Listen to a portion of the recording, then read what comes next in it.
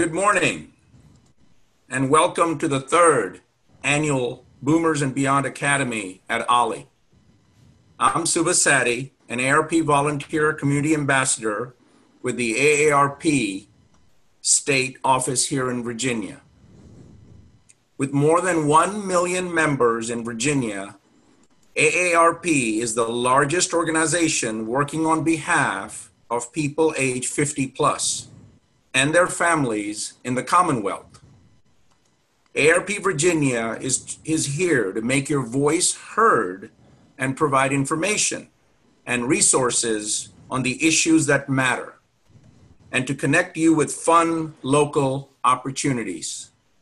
We provide valuable educational, informational, and fun resources. Things like webinars, teletown halls, discounts, and more. When it's safe to host in person events, you'll be invited to attend. In the meantime, AARP Virginia will continue to offer programs virtually. I encourage you to visit our website, aarp.org forward slash VA, where we always share great information on local resources and events. Once again, that website is aarp.org forward slash VA. Due to the pandemic, there have been some critical shifts in the way business and life is conducted. Take this event, for example. Rather than cancel it, we decided to make it virtual. And here you are joining us from the comfort and safety of your home on a semi gorgeous Saturday morning. We have a great program planned for you. I'd like to thank the Osher Lifelong Learning Institute at George Mason University, OLLI Mason, for continuing to partner with us on this annual event, even in these challenging times. Now I'll turn the screen over to Ms. Jennifer Disano, Executive Director of OLLI Mason, to share a little bit about OLLI Mason and the wonderful programs they offer. Thank you so much, Suba. Thank you so much for doing this program with us every year. And uh, I'm really glad that we were able to make it happen despite the pandemic and, and we are having great participation. We're so excited to bring you this program today. I'm going to share my screen with you um, and give you just a brief overview of the Osher Lifelong Learning Institute and what we do. So there we go. And let me set my timer because I'm on a strict timeline. so learning knows no age. Uh, and at OLLI, it, we offer courses and classes, but there are also lots of volunteer opportunities for teaching and uh, in doing things over at the university, like research projects and intergenerational exchanges. Um, take it from Albert Einstein. Uh, you don't have to be clever or especially gifted, just curious to be a lifelong learner. And uh, I hope that you all are. And judging from the fact that you're here today, I know you're curious pe- people. Um, the lifelong learning program at George Mason University began from a desire among retirees to enjoy university level courses, explore interests, and collect social and intellectual be connect socially and intellectually with uh, with people their peer group. And for 30 years OLLI has um, enhanced the cultural vitality of the surrounding community um, we are we offer a, an expansive academic program but there's no homework and no tests and there are no prerequisites but uh, it's a lot of fun and we have over 600 programs that we put on a year in everything you can think of art, music, philosophy, science, policy, current events. And our teachers, well, our teachers are not paid. They're all here as volunteers. And OLLI is really a cooperative. So we have a lot of our members, people who are members of the organization, that teach for us. And about 50% of the courses that we put on are taught by the members themselves. And then 20% are taught by Mason professors that come over and teach for free and put on wonderful lectures for us. And then we have 30% are, are kind of subject matter experts or community members from around the region. We are so fortunate to live in the DC metro region and be able to draw on so many resources from the Park Service to you know think tanks in DC to uh, just a whole a whole host of wonderful um, entities that are just at our fingertips here. So we're very enriched. Our program is, is uh, draws on that. There are 120 OLLIs, Osher Lifelong Learning Institutes, across the nation, at, uh, and they're attached to institutions of higher learning. Um, and we are, we know uh, collectively over 400,000 uh, OLLI members. So there's a lot of wonderful kind of cross across these different organizations sharing of best practices and uh, and we learn from each other and it's a wonderful group to be a part of. So no matter where you live in the nation, you can always find an OLLI. Um, so if you're planning to retire somewhere other than Northern Virginia, just go to the National Resource Center of OLLIs and you can find a map that will identify an OLLI near you. Some of them are called OSHERs. Um, they have different names, but OSHER is a good thing to Google. So what does OLLI Mason provide? OLLI George Mason provides educational programming, leadership opportunities, and cultural enrichment for over 1,200 intellectually curious Northern Virginian retirees. The OLLI program aids regional policymakers in search of programs to serve our uh, growing senior demographic. So we work with um, uh, the governor's office on Virginia uh, aging, and we work with our gerontology people over at George Mason University to talk about what we can do uh, regionally and also with the Long-Term Care Coordinating Council of Fairfax County. And we promote beneficial synergies. Uh, we obviously, I talked about teaching. We do research and intergenerational activities with the students over at George Mason.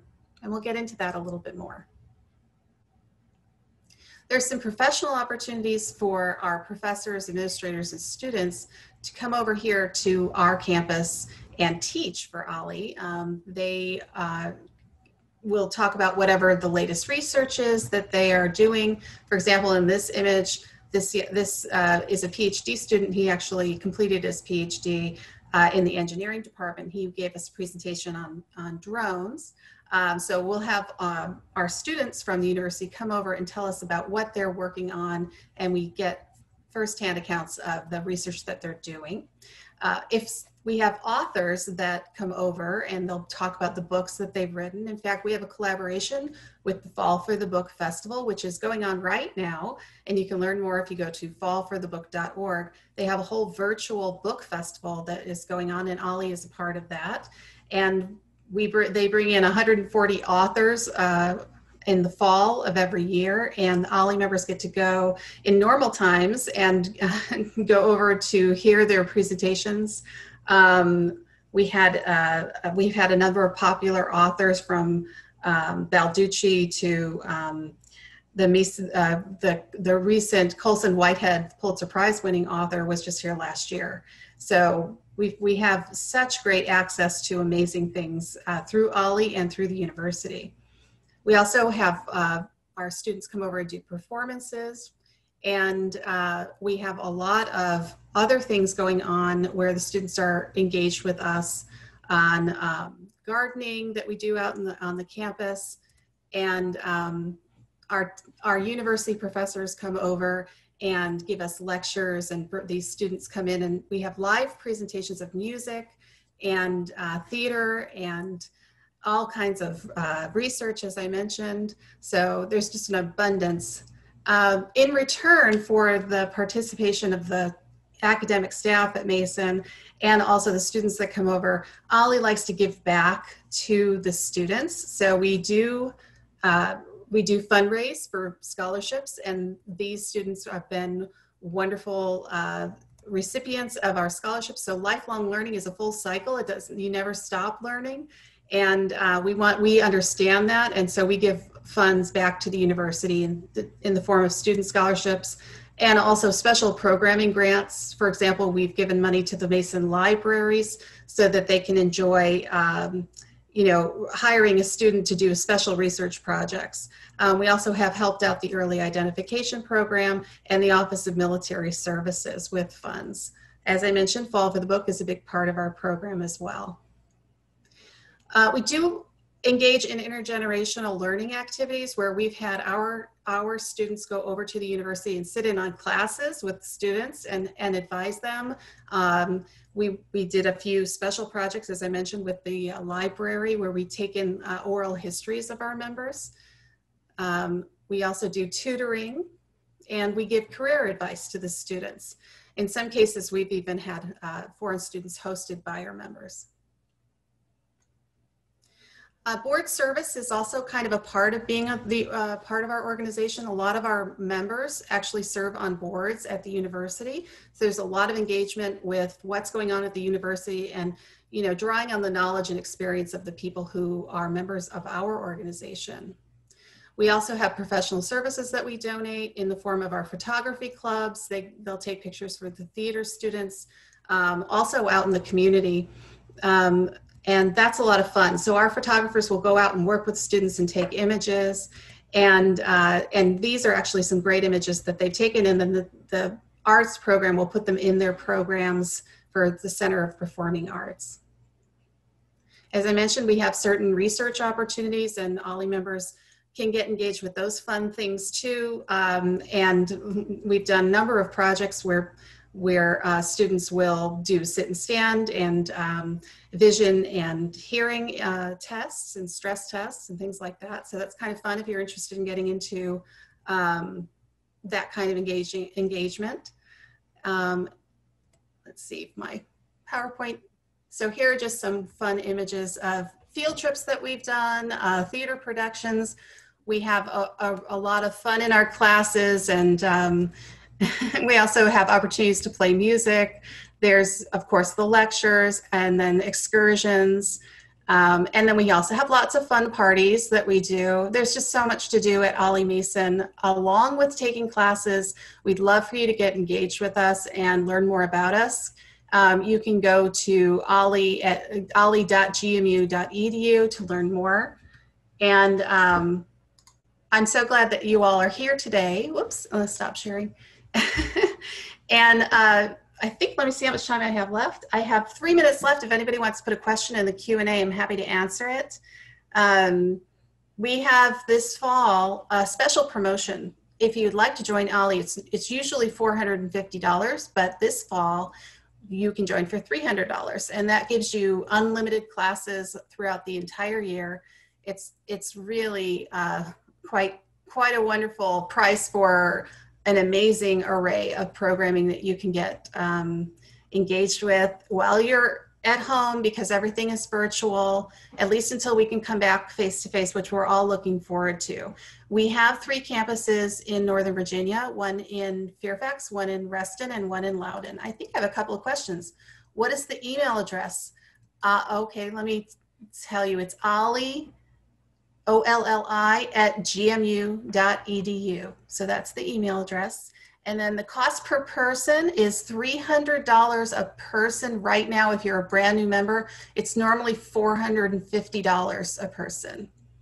Does OLLI at George Mason ever collaborate with OLLI in Maryland? Not, we don't have a, like a reciprocity agreement or anything like that. We do have um, programming collaborations.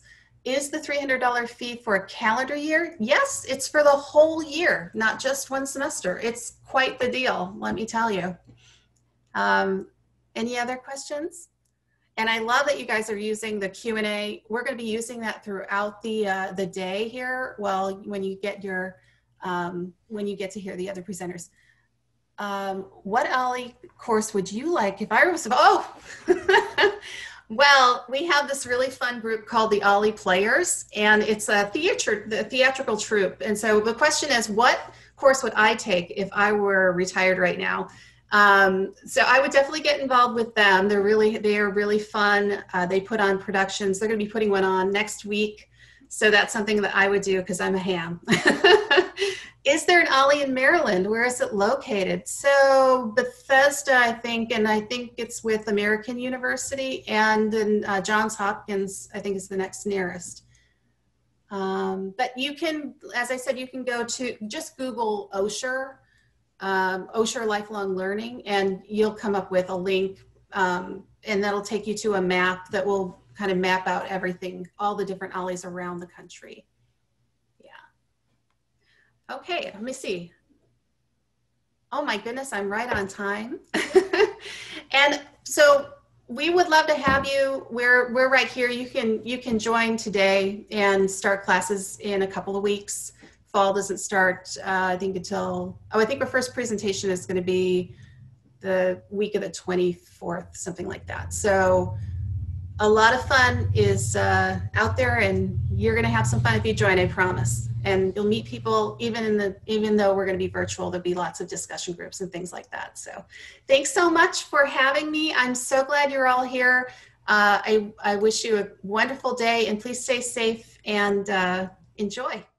Hey, folks, we've got uh, the exciting stuff coming up. So, just to let you know a quick uh, summation of the time, uh, I'm going to be introducing Ken Budd.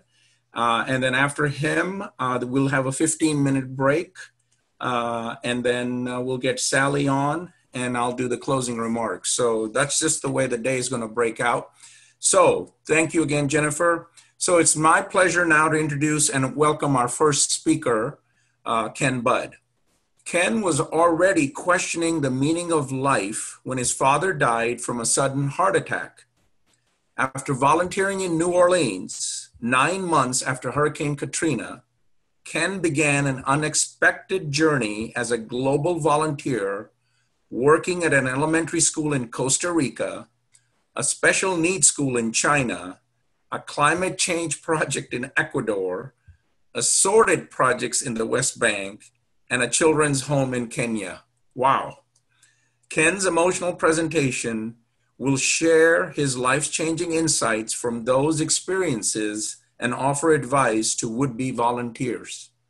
He's the author of the award winning memoir, The Voluntourist, and his story for the Washington Post magazine on his return to Kenya will appear in the 2020 edition of the Best American Travel Writing, available in stores on November the 3rd. Ken has written for the Atlantic, National Geographic.com, the New York Times, and many more. So please give a warm virtual welcome to Ken Budd. Uh, well, it's good to be here. I should say, first off, I look like Brent Musburger, I've decided. Uh, I'm not a morning person, so I appreciate your being here for what seems uh, early to me, but I am fully caffeinated, so I'm, I think things will go just fine. Uh, I'm coming to you from Burke, Virginia, here in Fairfax. Uh, I did a, I was in a meeting recently and someone told me this background looked like Masterpiece Theater. And then I pointed out that the book behind me is Green Eggs and Ham by Dr. Seuss, which I think completely destroyed the illusion. so, but thank you so much for joining us uh, virtually today. I'm going to share my screen now.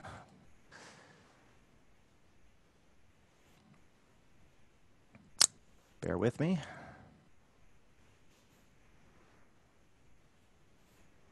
It's the miracle of modern technology at work here. So, as uh, Suba mentioned in the intro, uh, I volunteered around the world. So, I'm going to tell you about those experiences, what I learned from that, and then I'll briefly tell you uh, a little bit about things you should know if you want to volunteer abroad as well, and then I'll be happy to answer questions. So, there's a story I like to tell because I think it captures what the short term volunteer experience is really like. And for two weeks, uh, my wife and I volunteered at a children's home in Kenya. And we did uh, whatever work was required. We washed dishes, we folded clothes, we scrubbed floors. Uh, my wife is always thrilled when I show that photograph. And at the end of our two weeks, we asked the woman who ran the home, we said, What can we do as a way of saying thank you. So we, we did two things. we bought new mattresses. The kids slept on these really thin mattresses, sometimes two and three to a bed. And she said, Why don't you make dinner? Because what you basically had here were about four or five women who were caring for like 42 kids. So we said, Hey, this is great. We'll make dinner. The women will get a night off. The kids will eat something different. Ah, this is going to be great. Now, making dinner for 42 kids sounds like a really great idea until you make dinner for 42 kids. and we knew we were not dealing with a Food Network kitchen here. There was no running water. The knives were so dull. I remember my wife cut her finger because the knife just slid off a carrot. But the main problem we had was boiling water. The Kenyans frequently cook on these outdoor charcoal stoves, and we were going to make spaghetti. And we had this huge pot. It was much bigger than what you see here. You could swim laps in this pot. It was enormous. And we put all our water in, and we put it on the stove, and nothing happened. I mean, the water just sat there. And 10 minutes passed, and then 20 minutes passed. And after 30 minutes, I thought, you know, we don't really have plan B here. We're, we're pretty committed to making this meal. You know, it's not like we're calling Domino's. After 40 minutes, I thought, we have an international incident on our hands. I could see the headlines, you know, American couple starves local children. And it took an hour, an hour, and the water finally began to boil. And we threw in our noodles and we threw in the meat and the sauce. And it was so gratifying to see the kids eat this meal. I, I remember one little girl had a noodle on her head because she had shoved her face in the bowl. And I thought, well, this is why you do this, because you want to do just a little bit of good. And it may not always go the way you expect, but if you stick with it and you persevere, you can do just a little bit of good. The meat in our sauce was the first meat these kids had had in over a month. So we gave them a little protein.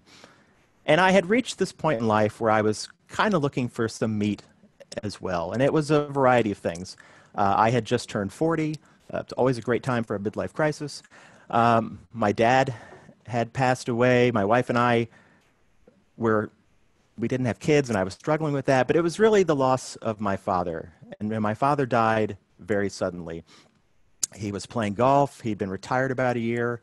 He was 65. He collapsed, and just like that, he was gone. And once he was gone, I start getting these letters from his friends. And they're saying, you know, your father really changed my life. Because my dad was a special guy. He, he grew up extremely poor. Uh, he didn't go to college, but he was smart and he was ambitious. And he worked twice as hard as the guys with the degrees. So I'm getting these letters and people saying, man, your, your dad, your dad changed my life. And I, I thought, man, you know, pff, you know, what am I doing? What are people going to say when it's my turn to hit the earth? And completely unexpectedly, through my job at AARP, an opportunity arose to volunteer in New Orleans nine months after Hurricane Katrina. And without even thinking about it, I took it. And I didn't know it then, but I had started a journey, and it would take me to Costa Rica, to China, to Ecuador, to the West Bank, and finally to Kenya. And I have four lessons from that volunteer experience, and that's what I want to share with you today. And the first is this there is power in small gestures, and there is power in small acts of kindness. And you know, I'm not Bill Gates. I'm not going to write some massive check for somebody. And I typically, when I volunteered, I was there like two weeks, and you think, you know, what can you really do in such a short period of time? But when I was in Costa Rica, you know, we volunteered for two weeks at an elementary school and we taught English to the kids there.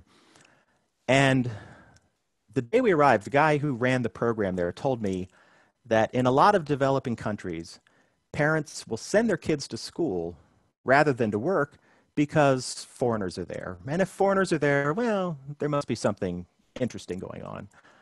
So sometimes you make a difference just by showing up.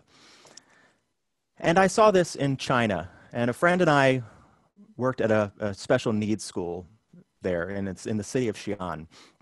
And I was mainly with a group of about third graders and just did whatever was needed. You know, they just needed a lot of attention. And I was primarily paired with a little boy named Li Baojin. And he had developmental disabilities, and so I would do things like this. They wanted to help him with his motor skills, so we would write numbers and Chinese characters. And sometimes he just needed help getting places. He just was much, he moved much more slowly than the other kids. But I always thought the most important thing was just being there because these teachers worked incredibly difficult jobs. And my friend and I were like an English speaking novelty. You know, we were like a break in their routine. I remember they, they at some point they bought an English Chinese dictionary and they would kind of huddle around it and try out new words on us.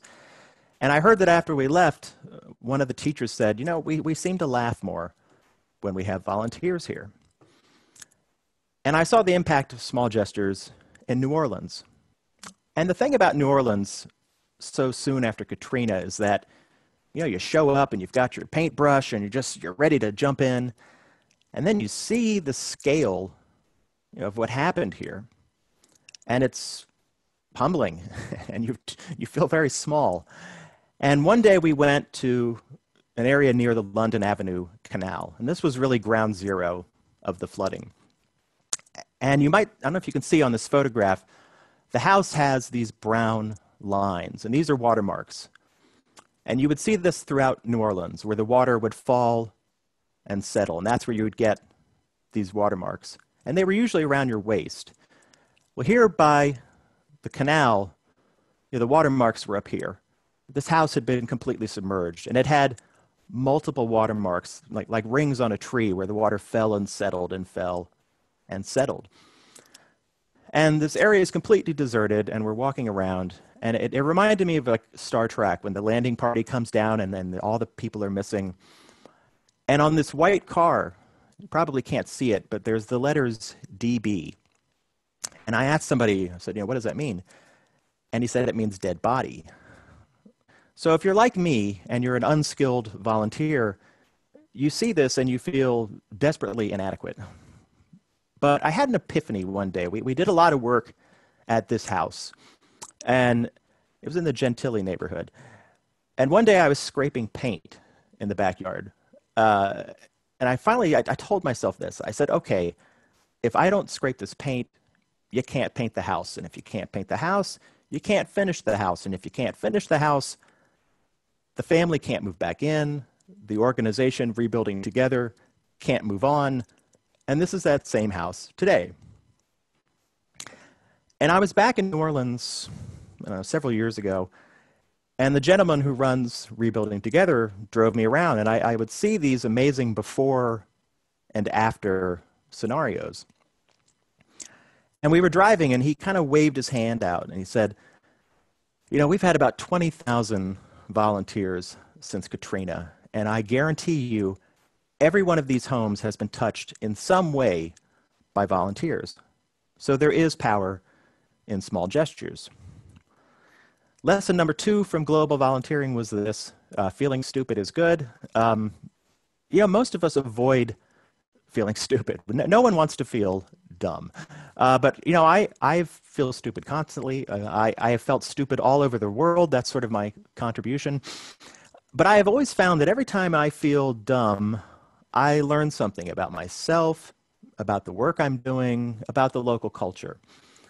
Uh, I felt stupid in Kenya. Uh, you know, we were working at this children's home for two weeks, and we stayed with a local woman and her two kids. And one evening, we met her for dinner in the city of Mombasa, uh, which is a coastal city in Kenya, uh, about 20 minutes from where she lived. And we're enjoying our, our dinner. We had a barbecued goat, and we're drinking our Tusker beer. And I said to her, I said, you know, matatus are much nicer here in the city than out where you live. And a matatu is a shared taxi. It's the main way you get around in Kenya. Most Kenyans don't have cars. You pile into these shared taxis. And here in Mombasa, the, the matatus were much sleeker and brighter and you know, decorated, and they were really nice.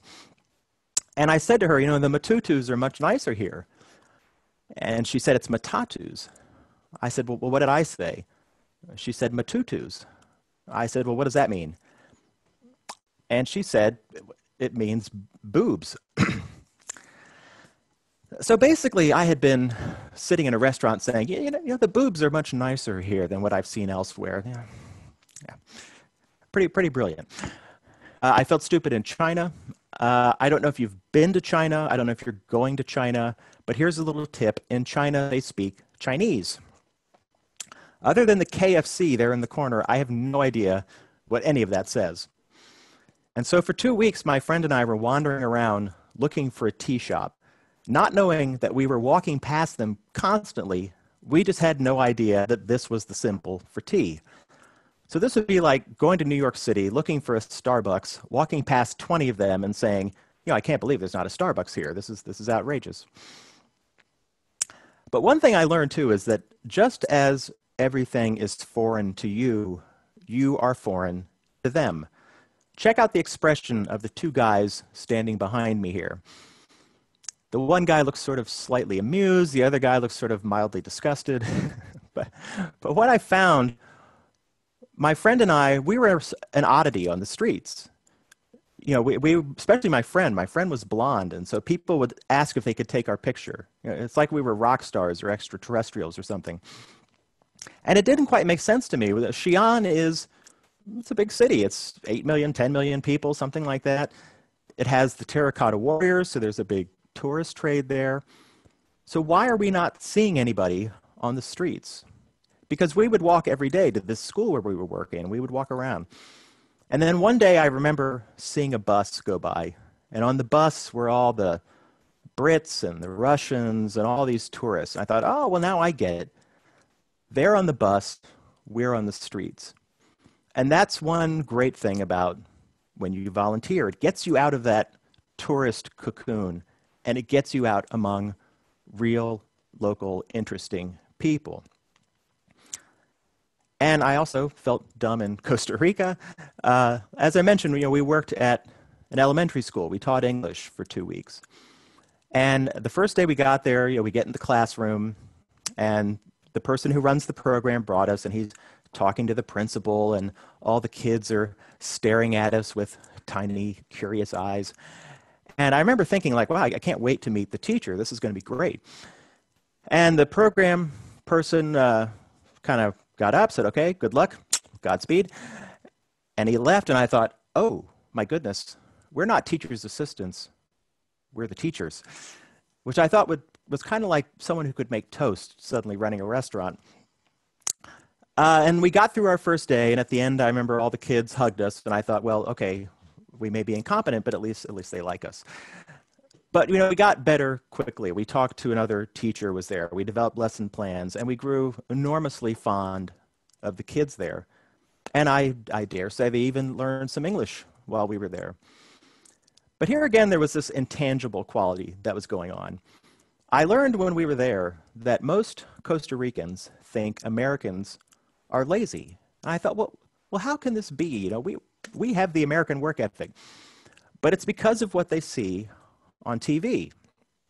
This is how most Costa Ricans perceived Americans as the cast from Friends. And what do they do on Friends? Well, they sit around, they drink coffee, they, they don't do a whole lot. But when you're there working with people and sweating with people and laughing with people, it changes how we see each other, and we're all just a little less stupid. Lesson number three is this life is a precious gift. And you're probably thinking, ooh, gee, there's an original idea. But I saw this again and again. And I, I, I saw it in the speed of my father's death. And I saw it in the West Bank. And we were in a little Palestinian refugee camp uh, right near, on the, right on the edge of Bethlehem. And uh, Bethlehem is best known for this. This is the Church of the Nativity. But I got to tell you, just between us, the best thing in Bethlehem, without question, is, of course, the Stars and Bucks Cafe. Best corporate ripoff I've ever seen. I deeply regret not buying a t shirt. And so we were there. There were people, there were volunteers from 15 countries. And, and unlike the other projects I did, this one was really just an assortment of activities. We, we helped a farmer build rock walls. We cleaned the streets of Bethlehem before the Christmas travelers showed up, which was actually much needed. But one of the big benefits, I think, of these volunteer programs is that you really immerse yourself in an area in a way that you don't when you're just visiting as a tourist. And so we, we stayed in this camp. And I think, regardless of where you stand on the Israeli Palestinian issue, you know, this is a hard life. And it's a very hard place. And we really got a taste of what that's like. You know, we had to go through the checkpoints. You know, they, a lot of men in Bethlehem, they work in Jerusalem, and every day they have to get up at like four in the morning to go through these really horrific uh, checkpoints. And again, it's just there's it's just not a happy place. You know, there's just a hardness that's sort of looming and always there. I'm often asked if I was ever scared when I volunteered, and I said the one time I was a little a little frightened was on this day. Uh, our ho- host took us to it's this protest that happens once a week, every Friday. And I was a little wary of going. I thought, you know, I'm not trying to take sides here, but I thought, okay, I'm going to go. I'm going to go as an observer. And in a lot of ways, this protest is routine. People show up, they make a speech, they go home. But man, you could just you could feel the tension in the air. And there are also you can't see them, but there are soldiers up on a hill. And these they're kids, they're like probably 18 to 20, and you can tell they're scared. And people are doing their speeches and it's a mix of locals and international people and even some israelis but so they're giving their speeches and i remember this kid a kid rolled a tire into the razor wire and then one of the soldiers pushes the kid. You just feel the whole thing go up a notch and you can see this one soldier he's got his finger on the trigger and we were lucky that day you know nothing happened but two weeks later the soldiers went around the wire and attacked the crowd I think the hardest thing I struggled with was in Hebron.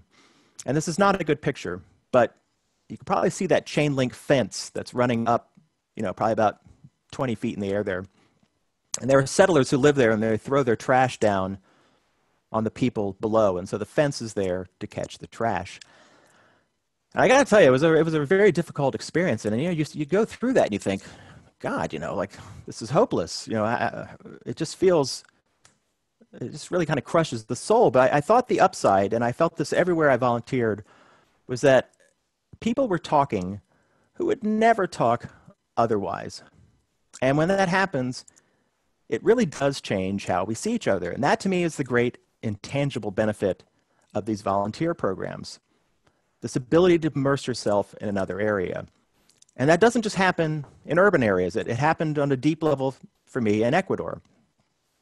And I was with a group called Earthwatch, and they do scientific programs here in the United States and around the world. And here in Ecuador, this is a cloud forest in the Andes Mountains, about two hours south of Quito. And they're studying how climate change is affecting the cloud forest. And this is a very remote area. You know, we, we took a bus and the road just ends, and you get out of the bus and you start hiking up the Andes. And it's so remote that where we were staying, everything is brought by mule. And I felt really bad for these mules until we started the hike. And then I was like, well, thank God for these mules. And so this is, you know, there's no electricity except for what's on generators. This was my home for two weeks. But this is one of the most ecologically diverse areas in the world. There are more tree species on a patch of ground than you will find in the entire British Isles. And some of them have quite practical purposes. And the wildlife, my God, there's hundreds of bird species. And this was just walking on trails. We encountered an eyelash viper. Uh, these are rare spectacled bears, past a tarantula.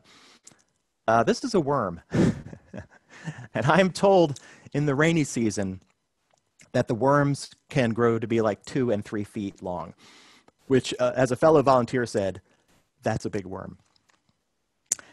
And the thing about a cloud forest is every day, about three o'clock, the clouds roll over and they consume the mountains and they consume the trees. And sometimes it would get so thick, you know, we were doing a lot of data collection work to help the scientists. It would get so thick, we actually had to stop working because you couldn't see. And the great thing about the clouds is you would get these really spectacular sunsets you know, as the sun kind of tried to fight its way through the clouds. But the bad part was, you know, I'm, I'm kind of a space geek. You couldn't see the stars. You know, here we are, we're, we're two hours from the nearest village, there's no light, can't see the stars. But finally, we had one night, one night where the clouds opened up, and suddenly you can see all these stars we never see here in urban areas. You can see the Milky Way, and it's just, you know, you feel small, but somehow you feel large. Because I remember thinking, you know, as far as we know, this is the only planet that has two foot worms and Earthwatch volunteers and all the things that we take for granted. And in a vast, expanding universe, we have all been given that rarest of opportunities, the chance to experience life. And I thought this woman really understand it, understood it. And her name was Anne.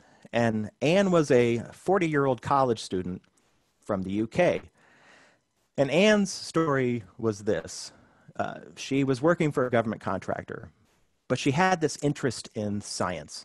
And she read Bill Bryson's book, A Short History of Nearly Everything. And on the second page of that book, Bryson states that even a long human life only lasts about 650,000 hours. 650,000 hours. That number struck her, it hit her.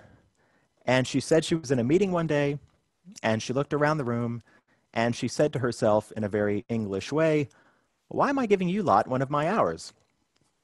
So she had gone back to school, she got a degree in ecology, and now here she was romping around the rainforest, all because of that number 650,000 hours. We don't get a lot of time here.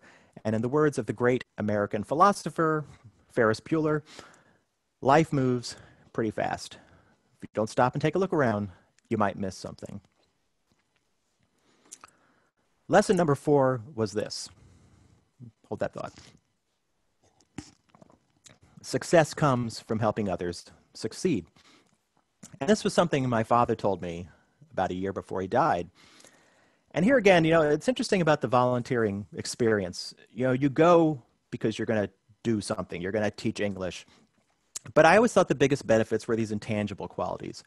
And one of them was this that you, you meet these incredible people who are working in these local communities. And I thought there were two women who I thought really embodied this idea of success. And one was this woman, and her name was Zhang Tao. And Zhang Tao founded the special needs school where I worked in China. And her story was this you know, she had a son. And at a very early age, she knew he was different. And he was diagnosed with autism. And in China, the traditional belief has been that special needs kids should probably be set aside somewhere. And this is changing rapidly, but it still exists. And so when her son was born and she, he was diagnosed with autism, she thought, okay, I am going to cure him and I'm going to fix him. So she went to see doctors and she lived in Xi'an and she saw doctors in Xi'an. And then she went to Beijing to see doctors. And at one point, she actually slept on the streets when she ran out of money so she could still meet with doctors until finally she said, I am so wrong and I am so selfish. And this is who he is, and I, I need to accept that. And so she had founded this school with her fellow desperate mothers, as she called them. And it's in this old tea distributors building, and they don't get any government support, and they struggle to survive, but somehow they do survive through grit and determination and love.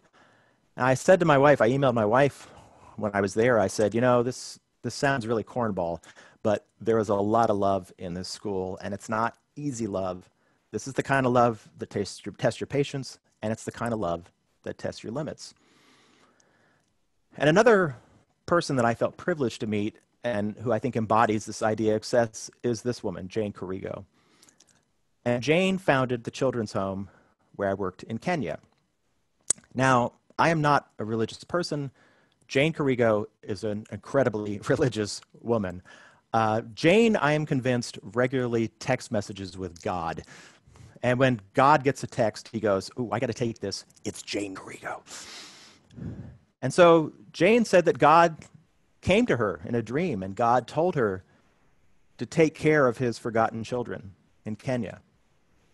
And so she decided to form this home, and she had worked at other homes in Kenya. She volunteered herself to get a feel for how they're run and how they work.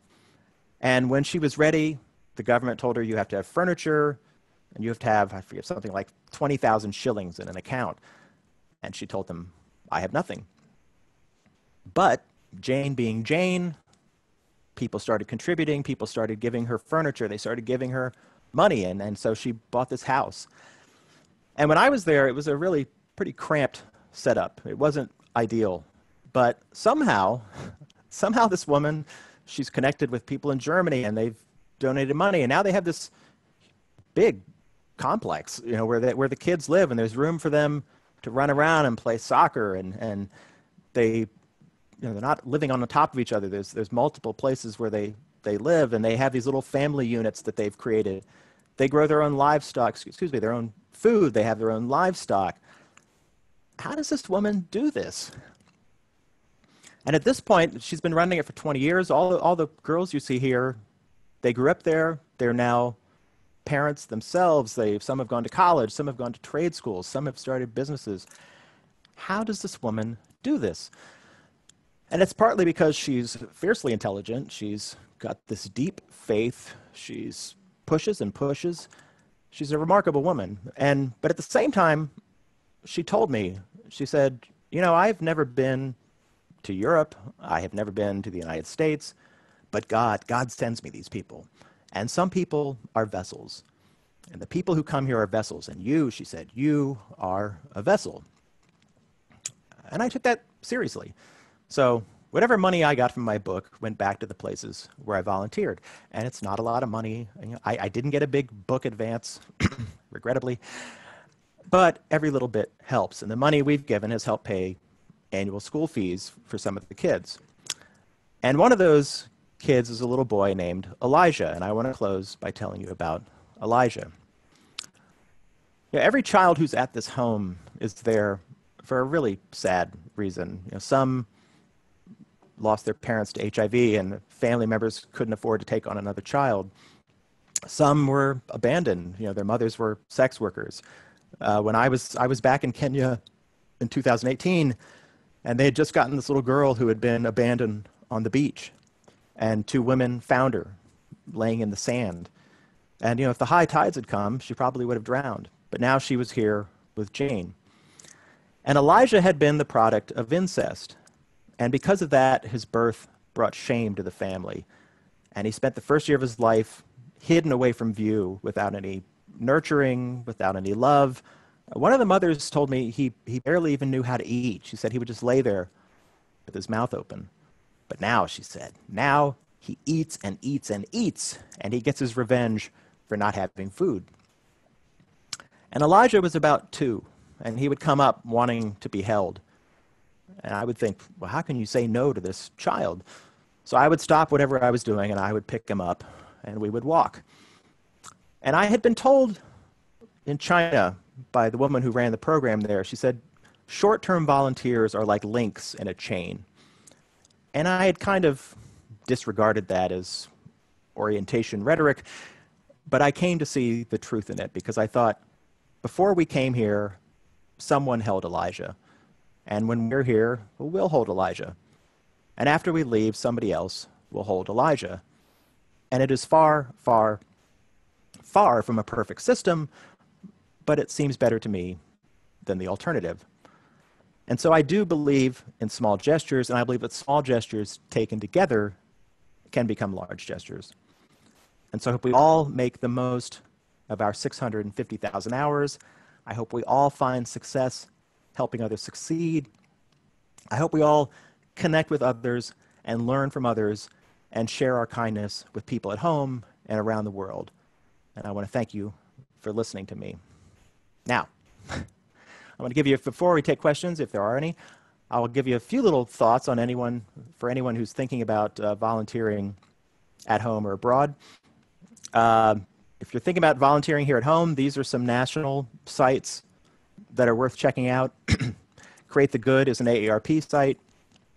Uh, I volunteer locally with an organization called Facets, uh, which works with like homeless and near homeless. I, I'm a pantry volunteer. I found that through a Fairfax County site, so I'm sure you can find something locally. But uh, these are just, and I include the Red Cross just because some of these big organizations, Habitat for Humanity, for example, uh, will have plenty of volunteering opportunities.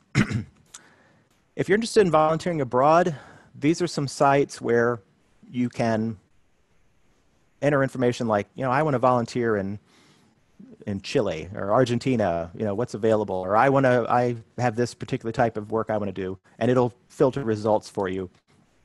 Now, I should say, of course, most of these organizations are not active at the moment because of, of COVID, uh, but they're all still, I think, making plans, you know, to move forward as soon as possible. And sites like volunteerforever.com, they have like a real nice primer on, on uh, you know, where you can go, what you can do, how to do it. So, and a lot of these sites will have that sort of basic information as well. Uh, when I volunteered, I started with this. Uh, it's a book called Volunteer Vacations, and it's it's like a reference book, and it just goes through all the organizations that are out there, what they do, where they go. Uh, I don't know when this book was last updated, but I, I imagine it's still pretty current. A lot of organizations out there. Um, these are most of these I volunteered with. Uh, I went to China through Global Volunteers. I went to Costa Rica with Cross Cultural Solutions. I mentioned Earthwatch. Uh, they're a scientific organization that does really cool stuff. Uh, You Belong, I have not volunteered with, but I, I, have heard good things about. And one thing I, I should say is that a lot of these volunteer organizations really are, they love having people over 50 uh, because, you know, the image is that college students only do this. That, that was not my experience anywhere. Uh, they like having people over 50 because they're usually more responsible, they're more committed, uh, they're not, they're, they're, kind of unflappable, you know, they, they've, there's the experience factor. Uh, global volunteers in particular attracts a lot of older volunteers. Uh, in China, we had about, I don't know, 11 to 13 people. No one was under the age of 40. Most were in their 60s. Um, and a lot of them taught English to college students. And it wasn't so much teaching English as these college students, uh, they, they knew English, but they didn't really have a chance to speak English. So that was, it was enormously valuable, I thought. And Earthwatch, speaking of older volunteers, this is a gentleman named Warren Stortroen. And Warren lives in Minnesota. And he always knew that once he retired, he was in the insurance business, that he wanted to see the world. And he wanted to do it in a way where he was really going to get his hands dirty. So since he retired in his 60s, Warren is now in his 80s. Warren has volunteered over 100 times with Earthwatch, and he has done everything from archaeological digs in New Mexico to you know whale observing in, in Norway. I think he's been everywhere, and he's seen a lot. And he even has his own fan club, the Warrenites, of people who have volunteered with him. So if you're thinking about volunteering, just a couple of recommendations. Do your homework. You know, I showed you some books and sites. This is not like going to the beach. I mean, you really got to figure out, you know, what kind of work do they do? Is it safe? What is the volunteer? Is the organization, you know, got a good reputation? Uh, ask a ton of questions. You know, is the program run by locals, or, or you know, or is it creating employment opportunities? Are you creating partnerships or dependency? You know, the economic thing is is something to ask about. One, one criticism of short-term volunteering is that it's taking away jobs from local people. So that's that's something to ask. Now, so in my case, we taught English in Costa Rica, but the principal had he could not afford an English teacher. This was a luxury. Being able to have a volunteer come and teach English, which he thought was enormously important, was not something he was going to hire someone to do. Ask how your money will be spent. Typically, with a lot of these organizations, you'll pay a program fee, and that covers your lodging, your transportation. You know, usually during the week you'll go see something. So find out how the money's being spent. And I was asked to speak with a previous volunteer, you know, someone who's been there, if they've been in the trenches, what was it like? This is a good book on kind of what volunteering is like. I wrote a blurb for this gentleman. Um, he gets into a lot of the things I just mentioned. And I should add too, I, I think a good indication of how good an organization is is how much research they do on you. So most places where I went, we had to provide references. It was almost like applying for a job. We, I, before spending time with kids, you know, we had to submit a, a background check. So I think organizations that don't do that sort of thing, that's a warning sign. So I'm happy to take questions. Uh, thank you so much for listening to me. Uh, there are several questions in the Q and A. Uh, Okay. that, or I can uh, read those as well. I think I I can see them here. So I'm going to start at the top. Who picks up the cost of getting you place to place? That's kind of what I just mentioned. Most times when you volunteer through these organizations, you pay what's called a program fee, and that's going to cover your transportation, getting you from the airport, getting you to the volunteer site. Um, but it, you know, it always it varies. Um, it's also going to cover your food and that sort of thing. And this is among the questions you have to ask, because like in some cases, in China, we stayed in a hotel and you know we ate in the hotel every night for the most part. In others, in Kenya, I stayed with a local woman. Um, and so I, that's one of the questions I think you should ask is, you know, what what's the food situation? What's the transportation situation? Um, what are you going to? How are they going to take care of you? Uh, there's a next question. What is the name of the school in Kenya? Uh, it was actually a children's home, and it's called the Calvary Zion Children's Home. And they do have a website, um, and you know, I, I, I'm in touch with them pretty frequently. It's a, there, there's a Scottish woman who set up a trust to help the, the home. Uh, and it was a situation she had visited Kenya, and she people in Scotland had given her some things to distribute, school supplies and things.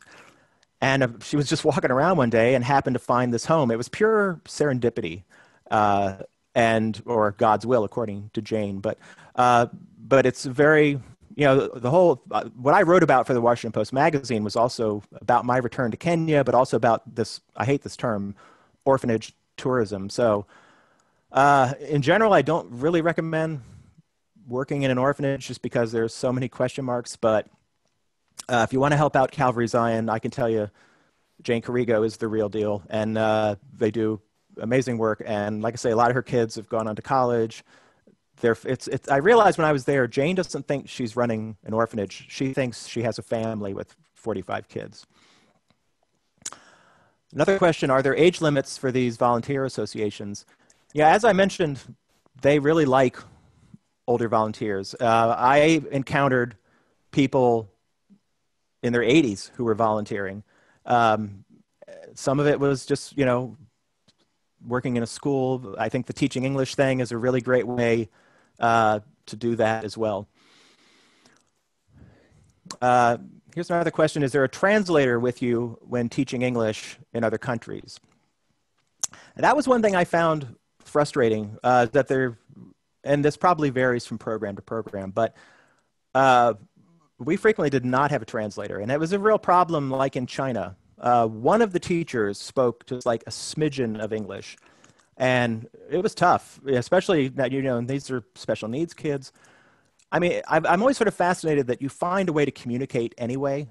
Somehow, somehow we manage it. And I, it's funny, usually after I got back from these places, I would be going like, oh, can I have some tea, please? Or, you know, so, but it was frustrating. And uh, but I would imagine, like, if you're teaching with like college students, it's probably not as much of an issue. But um, that's, I think, among the questions you might ask. Here's a question about what can be done to help the people in Beirut. It seems so daunting. How does one even start? Um, you know, when I, I volunteered in the West Bank, and I when I came back, I, I wanted again. I was going to give away the money from my book, and someone had recommended to me an organization called ANERA, A E N E R A, which does work in Lebanon and the Palestinian territories. And they support schools, they support things like you know, helping people to grow food, things like that. Um, I'm sure there are plenty of other uh, organizations, but ANERA is one that I, I know and I trust. Uh, what opportunities are there for international programs for seniors with limited finances?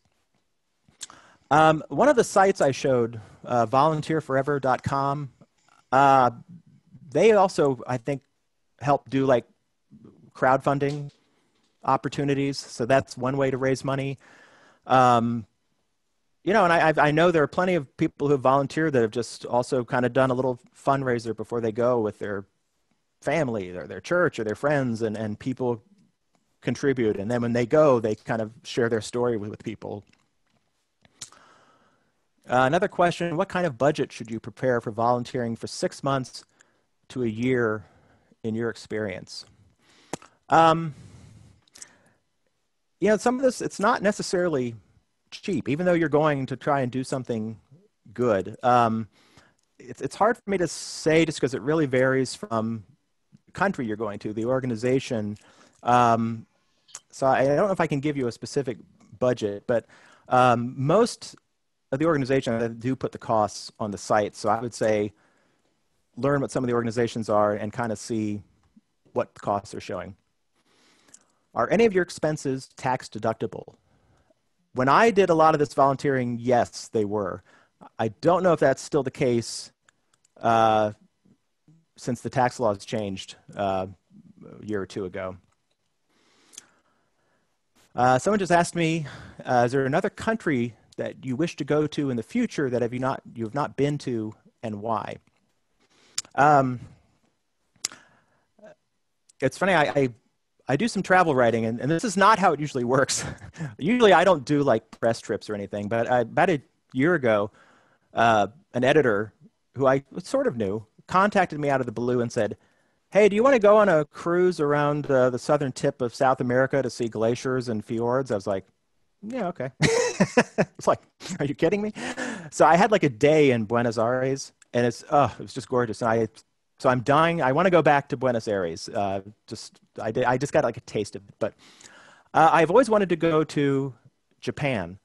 Uh, my father worked for Toshiba for many years. Used to go. He was at the time living in near San Francisco. Would go to Japan and just loved Japan. So I sort of feel like I need to go to Tokyo. Question from Larry Lipman. Good to hear from you, Larry. What's the name of the volunteer organization in Fairfax? Uh, it's Facets, F A C E T S. Uh, very good organization. Uh, like I say, they, they, they work with homeless and near homeless. They, they do a hypothermia program in the winter to help protect people. They uh, put families in housing to prevent them from homeless, uh, homelessness. Very good organization. Uh, here's a question Are you usually paired with a volunteer buddy? Um, yes and no. I mean, frequently I went with another person, but there were times I went solo. Um, yeah, I think you are in, in many cases. It, it really does vary. I, I, I think, like an organization like Global Volunteers, I think if you said, I want my own hotel room, that's fine. But you're sort of paying for that. I went to India uh, two years ago with a group called Medical Missions Foundation. And they send doctors to do like a week of surgeries in areas that have, uh, that just don't have the resources.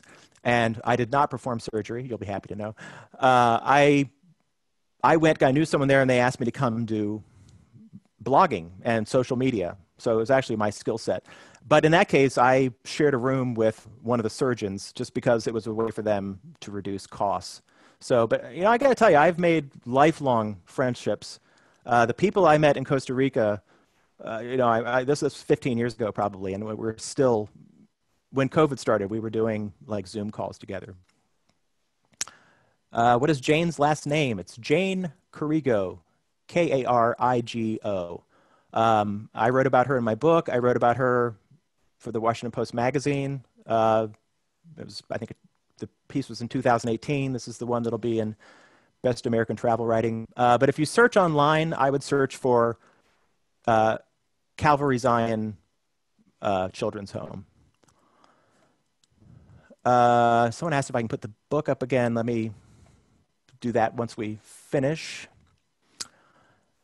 Uh, Larry asks, how physically fit must you be? Really depends on the program. Um, if you're teaching, if you're you know, that's not going to be much. But something like the Earthwatch program in Ecuador, we were, everything was by foot. I mean, we were hiking at least five miles a day. Sometimes uh, there was one day we did like 10 miles. Uh, but here again, there were people in their 60s. I think one guy was in his 70s, and it was it was not an issue. But um, that's among the things I think you have to research. Someone asked, "Is two weeks the norm for a volunteering activity?" Two weeks tends to be the minimum. Um, I have two friends I met volunteering who did it for like six months. Uh, I think most, in some cases, you might be able to do it a week, but I think usually the more common is like two weeks, a month, three months, six months. And one thing I didn't mention is uh, something that's becoming a little more common is sort of like family volunteering. So, you know, I know a woman who has brought her kid, her child, and the two of them have gone and volunteered, or people have taken their grandkids. Um, and it's, I, I, I, when I was in India, one of the surgeons brought his 16 year old daughter, and she did a lot of the administrative work and, and things like that. And I, I think some parents feel like, you know, my kid has grown up in this sort of sheltered environment. And she needs to see the real world. And it's a real bonding experience, too, when you go through something like this. Uh, someone asked, thank you, someone asked my, uh, my newsletter address. Uh, if you go to either my website, kenbudd, B-U-D-D dot U-S, you can sign up there, or go to 650,000hours.com, and that's 650, three more zeros, hours translator.com. Uh, here's a question Do they welcome translator volunteers for the group? Oh my God, I think if, if you have a second language or you can translate, you're gold. yes, they would love to have you. Uh, here's a question Any insights on the profiles of volunteers from other countries, uh, e.g., Europe, where they might have longer vacations or were organized by faith communities?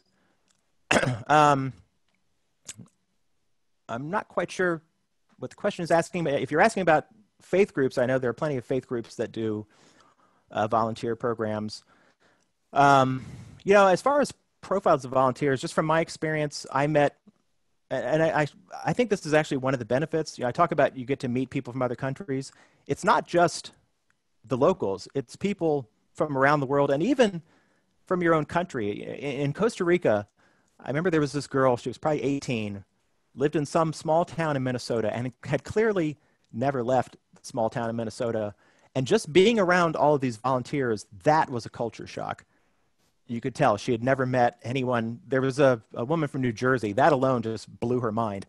Uh, so the volunteers vary considerably, and that's one of the, one of the strengths.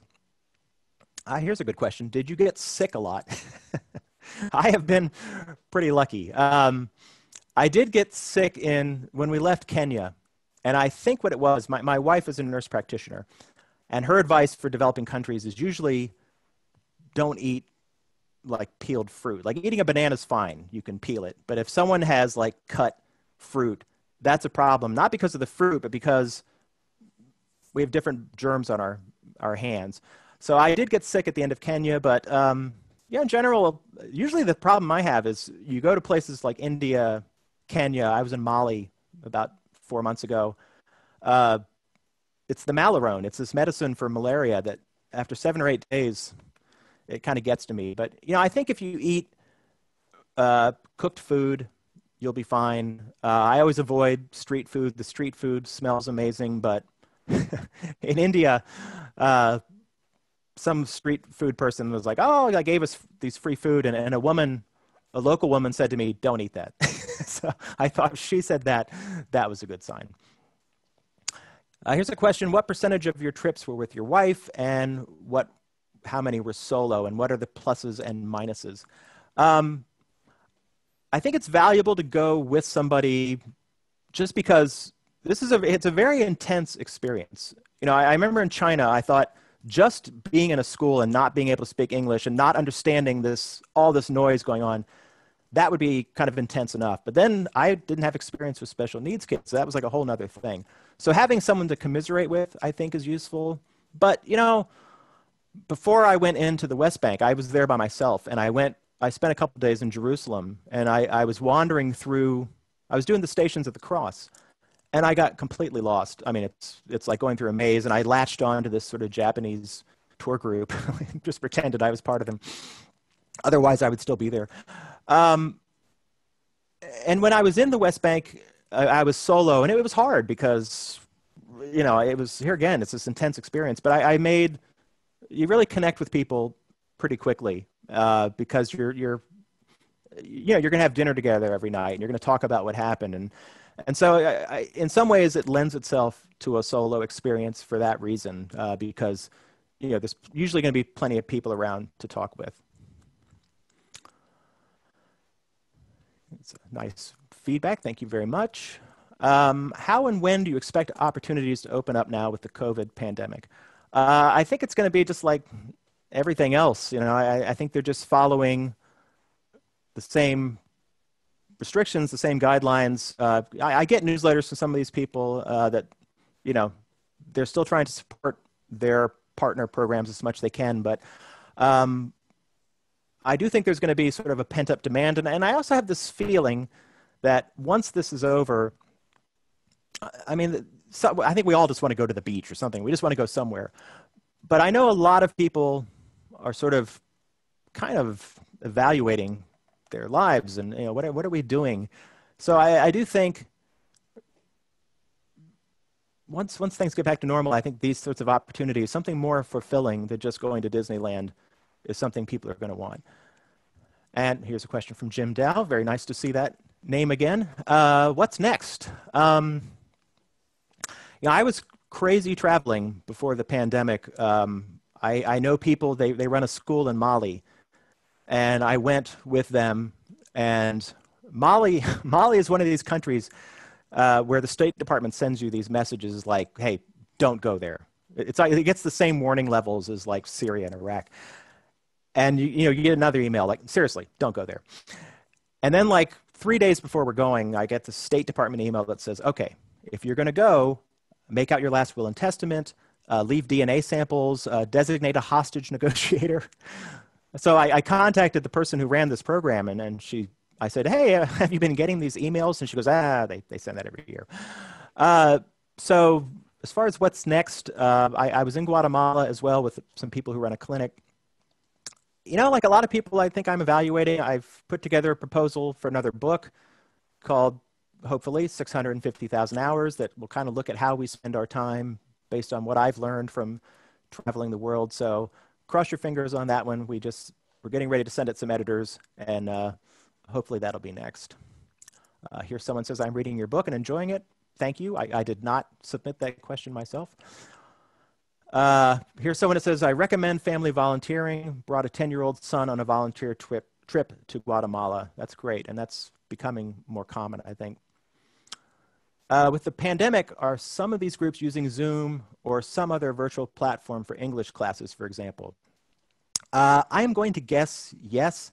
Uh, I, I know there's a woman uh, who volunteers through Global Volunteers, and she has gone to Poland, I think like 30 times to the same school to teach English.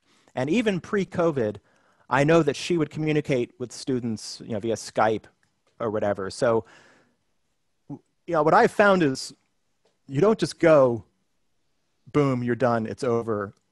I mean, that happens, but I, in my case at least, in a couple of cases, there have really been enduring lifelong connections that, that happened in Kenya, uh, for example. So, yes, I would guess some of these organizations are doing that. So, that appears to be the last question. Um, if you want to reach out to me, like I say, go to my website, uh, kenbudd.us uh, or you go to 650,000hours.com and submit something there. Sir, you were going to put up the uh, picture of the book again, I believe. Someone asked for that. Yes. Let me see. Let me share screen again. You're already sharing. Uh, okay. Just go ahead back to your PowerPoint. I'm going to guess it was this book. Uh, hang on a second.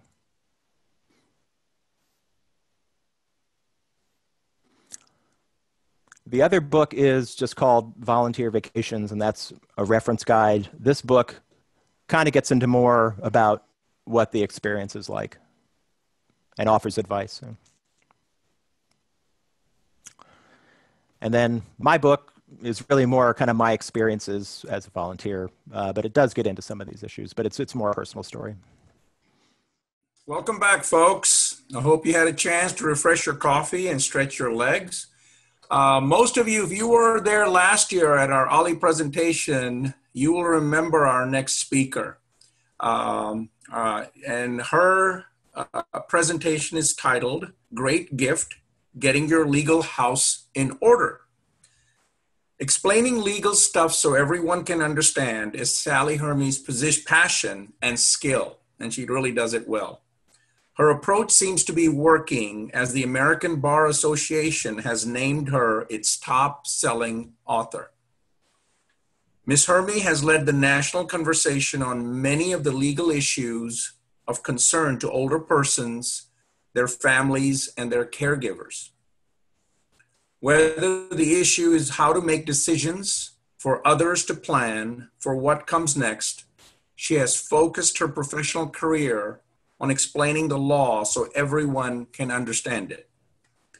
Recently retired after more than 20 years at AARP, she has focused most recently on providing support and resources for family caregivers. Ms. Hurme is the author of the award winning ABA slash AARP checklist series. And mostly this just this spring, she authored Wise Moves checklist for where to live, what to consider, and whether to stay or go. So please give a warm virtual welcome to Miss Sally Hurme. Sally, it's great to see you. The screen is yours. Hi, Supa, and hi, everyone else. I'm delighted to be with you today. And I'm going to share my screen so that you can see my presentation. We hope. There we go.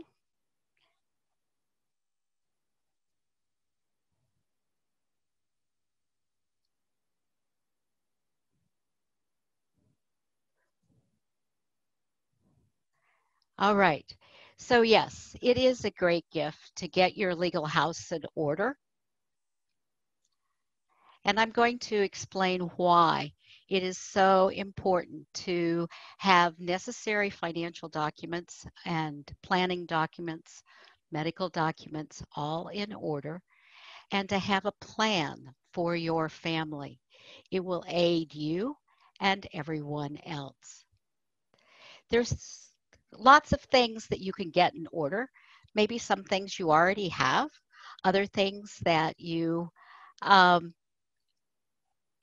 don't need, but I'm going to cover the whole range of things that you might want to be sure that you have some sense of order about. Um, do you have a list of your bank accounts, the PINs, and what uh, direct deposits are made into those accounts? Do you have a list of all your credit cards? Uh, the credit card numbers, maybe a picture of the front and back of those cards. You can have that um, safely uh, rec recorded. Uh, it's good for you to know in case you might lose your cards so that you know who to contact. And it's also going to be good for your family to know uh, just where you have various credit cards. Do you have a listing of your retirement accounts, where they are located, uh, what where statements might be filed? Uh, do you know what life insurance policies you have? Do you have them in some sort of organized manner?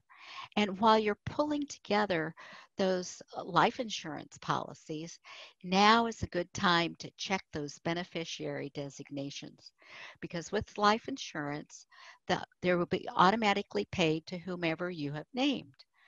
And you want to make sure from time to time that you check your designations to make sure that they still reflect what you want right now.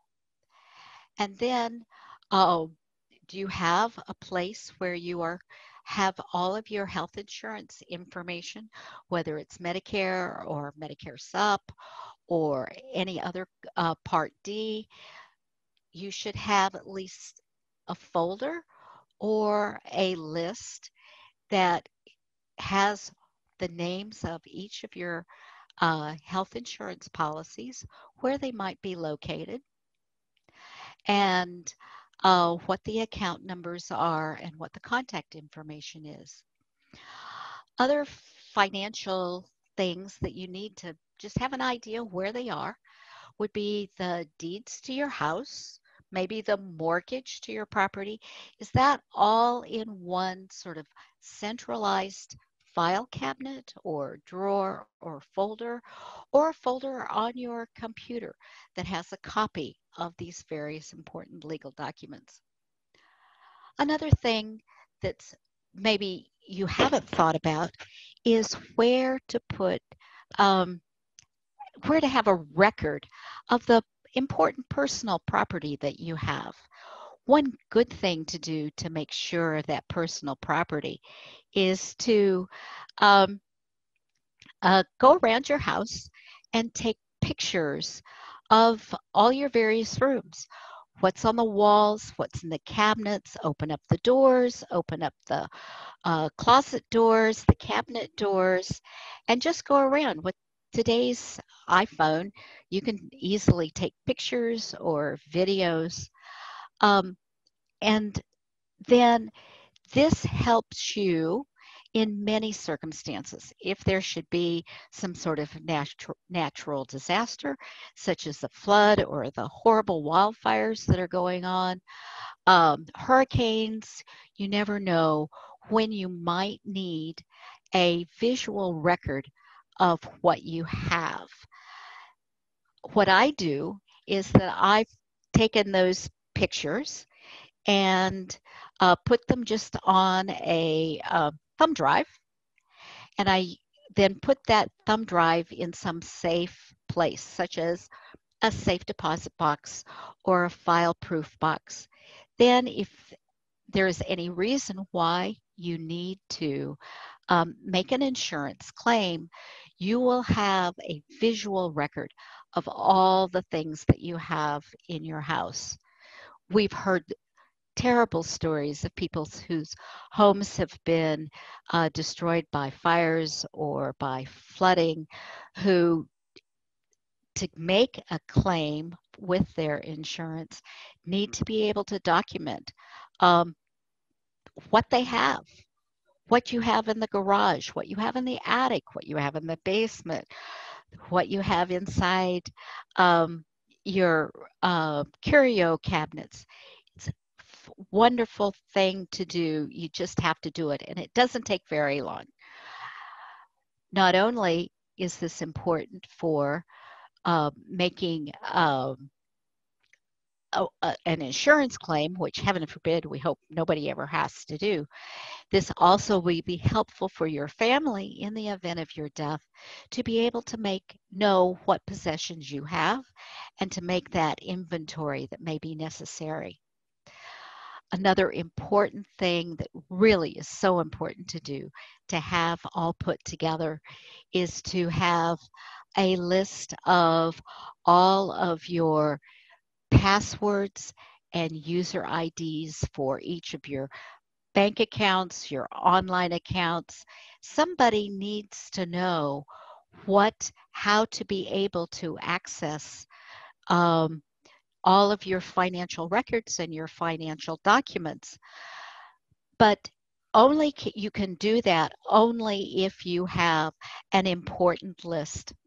Another important document that you can put together is a calendar, which will show that um, what um, monies you are that are coming in that you can put into that are direct deposited to which bank account. Where does your Social Security, uh, what into what bank does your Social Security check go? And then on that sort of same calendar, you ought to have a record of what auto pays you have and what dates they go out and what those amounts are going to be. Those, um, what is do you have your uh, cell phone bill, your utility bill, your mortgage? Uh, what auto pays do you have?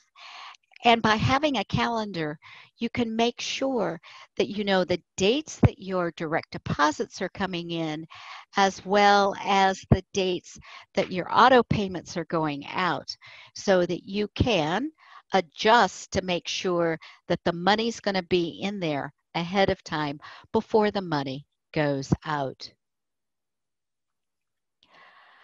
One of the things that I think is very important to do is to have some sort of record of where you have various things stored. Um, in my book, uh, Checklist for My Family, I have a where to find it checklist that I think you would find most intriguing, perhaps. It lists all of the various things that you might have and where you have put them. What things are in your safe deposit box? Do you have an inventory of what is in your storage units? Then do you have a list of all your online accounts and those passwords? You and even do you have a record of what rewards programs you're signed up for? Is that an airline or hotel rewards program. Oh, what rewards programs do you have? What are the balances? What are the passwords to get into those rewards programs? It's important for you to have a good idea as to where things are. And for example, like somebody needs to know where your safe deposit box is, which bank is it with, and where is the key to the safe deposit box. Would somebody be able to get the key if you were not able to tell them where it is? And what's the combination to the storage unit in case someone needs to be able to get into the storage unit when you're not there? Having a record of what's where is very important because you never know when something might come up, whether it's illness or cancer or your own death, that your family needs to know where your stuff is. What stuff do you have? Where is it located? And how is it filed so that they can find it at some point in the future if you're not able to tell them. It's not only important to have your legal life sort of in some sort of great order, but it's also important to do a lot of planning. We do plan. There are lots of fun things that we plan for. at least we used to plan for vacations. Now it's a little hard to uh, do that. Some of that vacation planning has been set aside for right now, but we can plan for those vacations that we're going to be able to take next year. We also have fun planning for our retirement, planning for how we're going to save our money for retirement. And then the anticipation of what it is that we want to do post retirement. What are your plans for how you are going to spend your time, where you're going to live, what kinds of activities you want to maintain, how you're going to be able to have more volunteer opportunities within your retirement, and talking about how to make the most of your retirement takes planning from long before the actual date that you're going to retire. And I will have to put in a plug for my book, Get the Most Out of Retirement. I help you walk through in that book lots of the things that you need to do to really have the most fulfilling retirement. It takes some planning.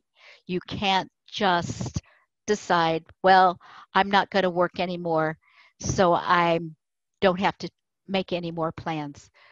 to have a great retirement, you really do need to make those plans. There are also things that we need to plan for that maybe are not so much fun as planning for a wedding or a vacation or a renovation of our house or whatever we're thinking about.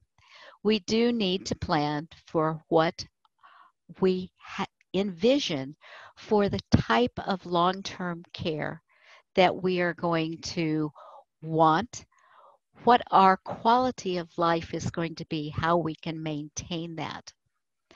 And we also need to plan for what kind of medical care we are going to want in case something comes up. And then another big area of planning that you need to pay attention to is how do you want to distribute your estate on your death? Who's going to get all that stuff that you have now recorded and put into your uh, visual record? Uh, what, what, how do you want to plan for what happens to your um, memory, your belongings, your legacy upon your death? Why do you plan? It's the greatest way that we can stay in control of what happens in the future.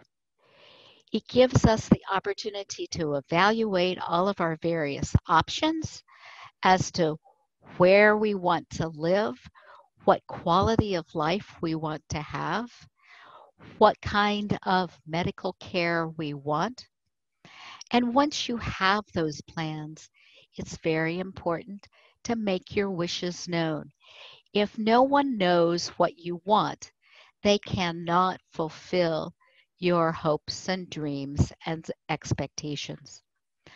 And also, we really do know that if you have a plan that helps you avoid having to make crisis decisions when there is some sort of upset or crisis in your your living circumstances, your financial circumstances, your health circumstances. If you've got a plan and if your wishes are known, then you're going to have more options to uh, take care of yourself and your family and those around you who love you and whom you love. You will have more choices. And if you have a plan and you let those wishes know, be known to others, it will give you peace of mind that you've gotten things organized, that you've thought through what you really do want. And all of that planning and organization is such a great gift for your family.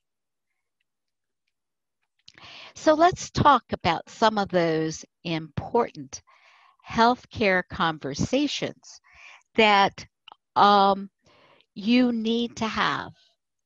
You need to know who it is that you want to make what decisions about the quality of life that you want to have to the end of your days. What are your healthcare preferences.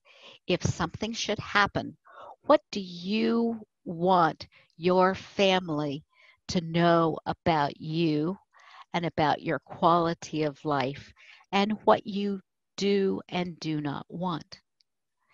You need to have a conversation with the trusted members of your family or your friends or your spiritual advisor, whoever that might be, that has an idea of what is really important to you. What do you want about pain management? What level of pain are you going to want to have managed by those who might be taking care of you and assisting in your treatment? So there are planning documents that are important for you before you die. These are documents that you want to have in place now that sets out what your wishes are. There are two legal documents that you need to consider that I like to call the memorialization of the conversation that you've had. The conversation is so important, but you need to put those wishes down in writing. For your health care plans, there the two documents that you need to have are a health care power of attorney and a living will.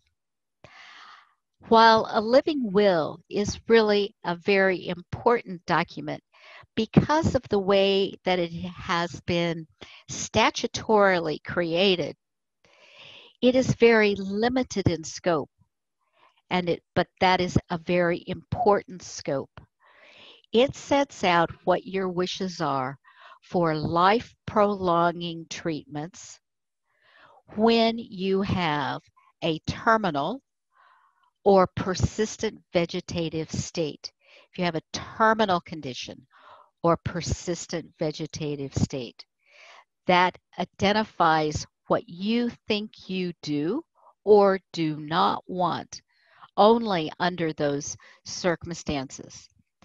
Because living wills are so restricted to terminal conditions and only to life prolonging treatments.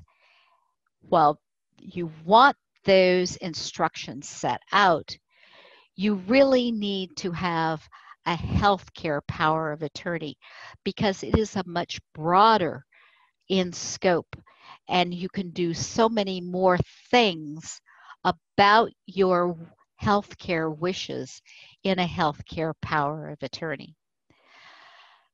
Most states, including Virginia, combine these two documents into one advance directive.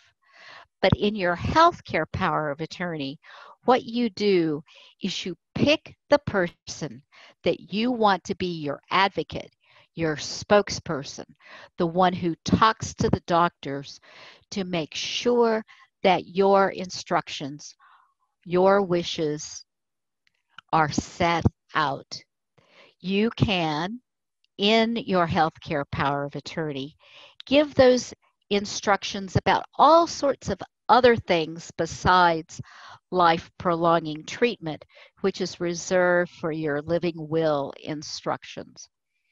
So you can, again, memorialize the conversation that you've had with your agent in writing. So that provides a back up to your agent so that the agent knows what you your wishes are and you have that set out in your combined healthcare power of attorney. Remember that in your healthcare power of attorney, you can give additional instructions like what do you want for chemotherapy? What do you want for any kind of surgery? Antibiotics, use of various kinds of psychotropic medications. You can, those are not life prolonging treatments, but those are instructions that you can set out in your healthcare power of attorney. It's important to remember that your healthcare power of attorney is a living document. As your circumstances change, you can have additional conversations with your agent. You can change the instructions or directions in your um, healthcare power of attorney as circumstances change. But having that conversation and setting it down in writing is so important, not only for you, but for your family and for your healthcare agent. Why do you need a healthcare power of attorney? You'll see this slide come up again and again in what I'm talking about. It allows you to stay in control. It allows you to identify what you do or do not want your healthcare agent to do. You set out the instructions, the directions, your wishes, your preferences in writing, and you pick that person that you want to have be your spokesperson, your advocate. Without a health care power of attorney, you lose that control. Don't worry though, the state of Virginia or wherever state you're living, there is a statute in the books that picks the decision maker if you have not picked a decision maker for you. We, um, in Virginia, the statute sets out what they, what the legislators thought you would want to have make your decisions for you.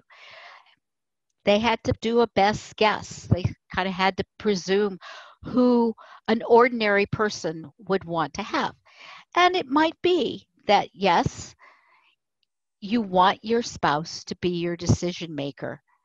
But if you do want your spouse, why not override what the legislature said and pick the person that you want?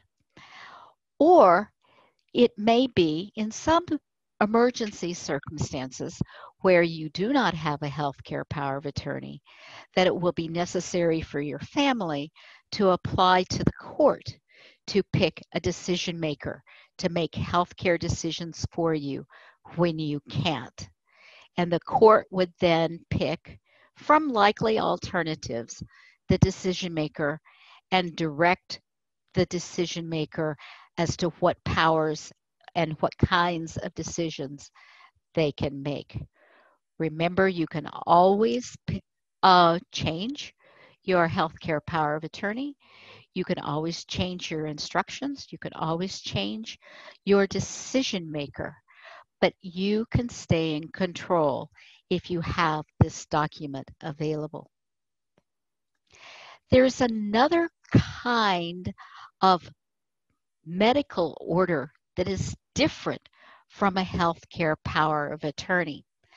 Those medical orders are signed by your physician and entered into a part of your medical record.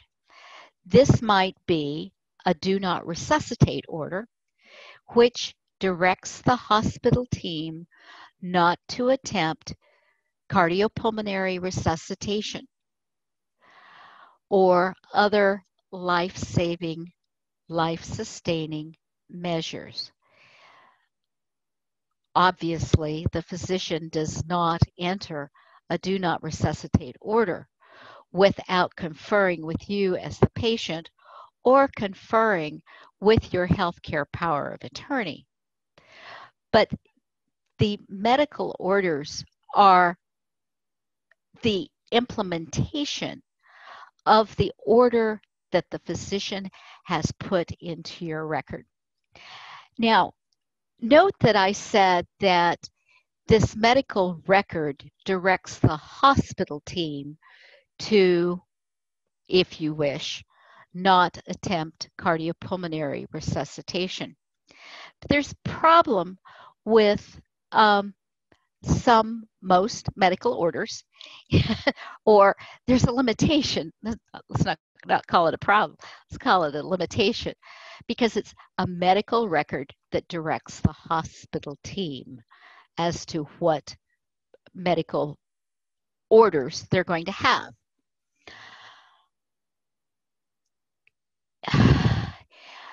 There, Virginia knows by legislation that there are circumstances when someone would want to have a out of hospital do not resuscitate order.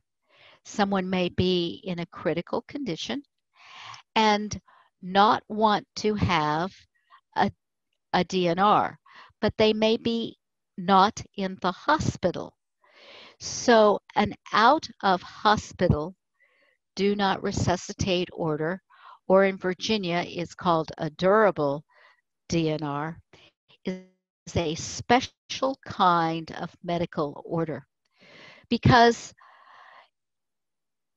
out of the hospital, such as if you are at home or are um, uh, in assisted living or in a nursing home, and if there is a medical emergency and 911 is called, emergency responders must morally and legally attempt resuscitation, attempt all efforts to restore your heartbeat or your breathing. With an out of hospital DNR, the emer- emergency physicians, I mean, the, uh, yeah, the emergency responders have the, can look at a special bracelet that you might have that is, uh, tells the em- emergency uh, first responders not to attempt resuscitation.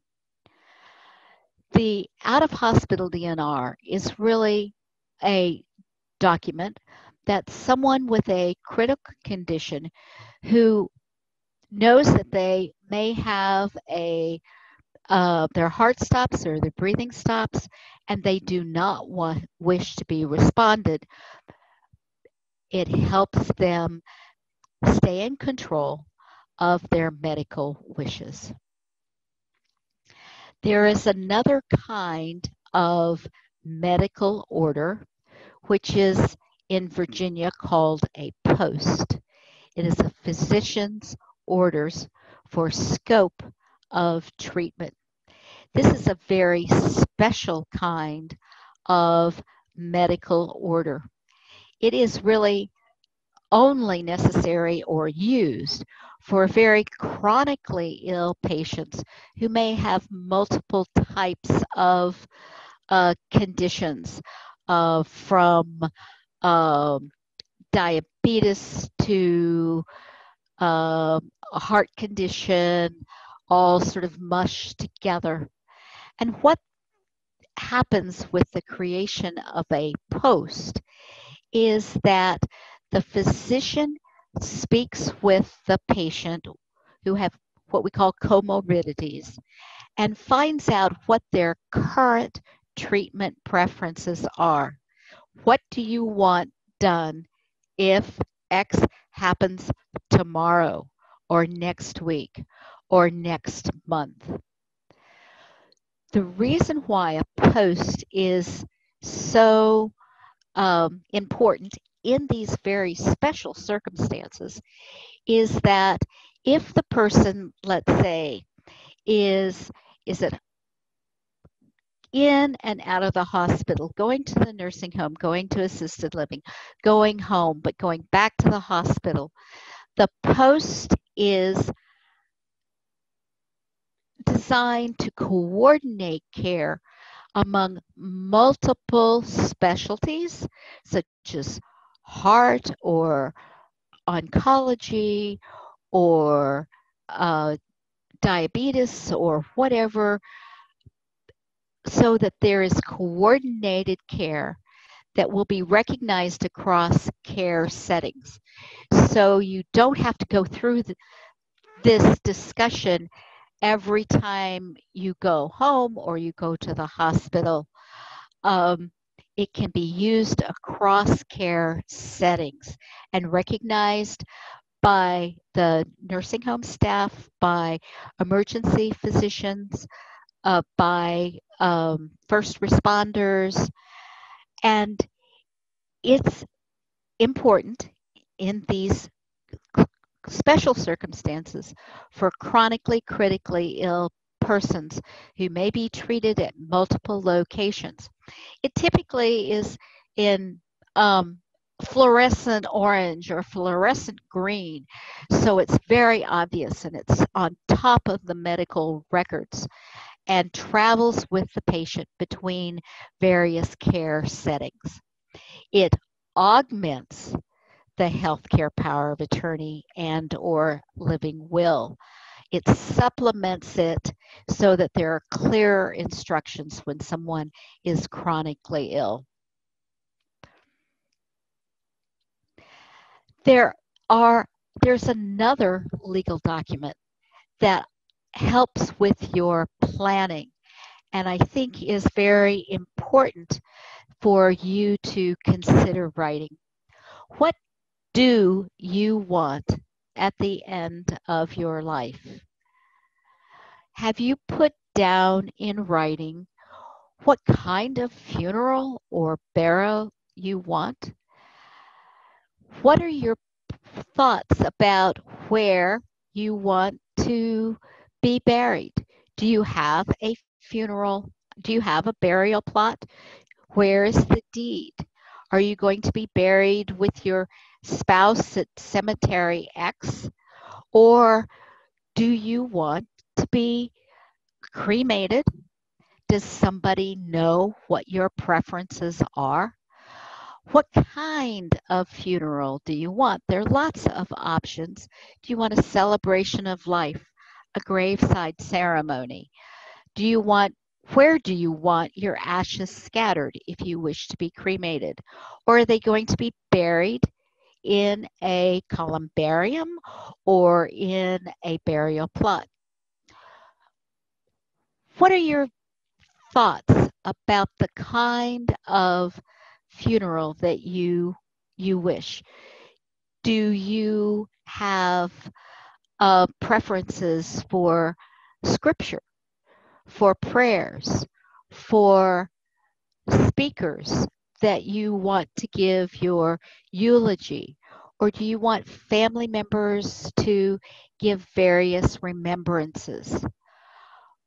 Where do you want the ceremony? Do you want it in a church or a synagogue or at the grave site? We all know that today, sometimes it's very, it's being much more difficult to have the funeral that we all sort of wish because of the coronavirus.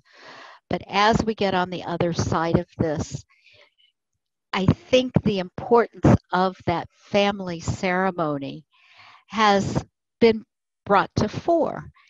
And you need to uh, talk about, write it down what your thoughts are. You know, you could even write your own obituary. There's no harm in doing that.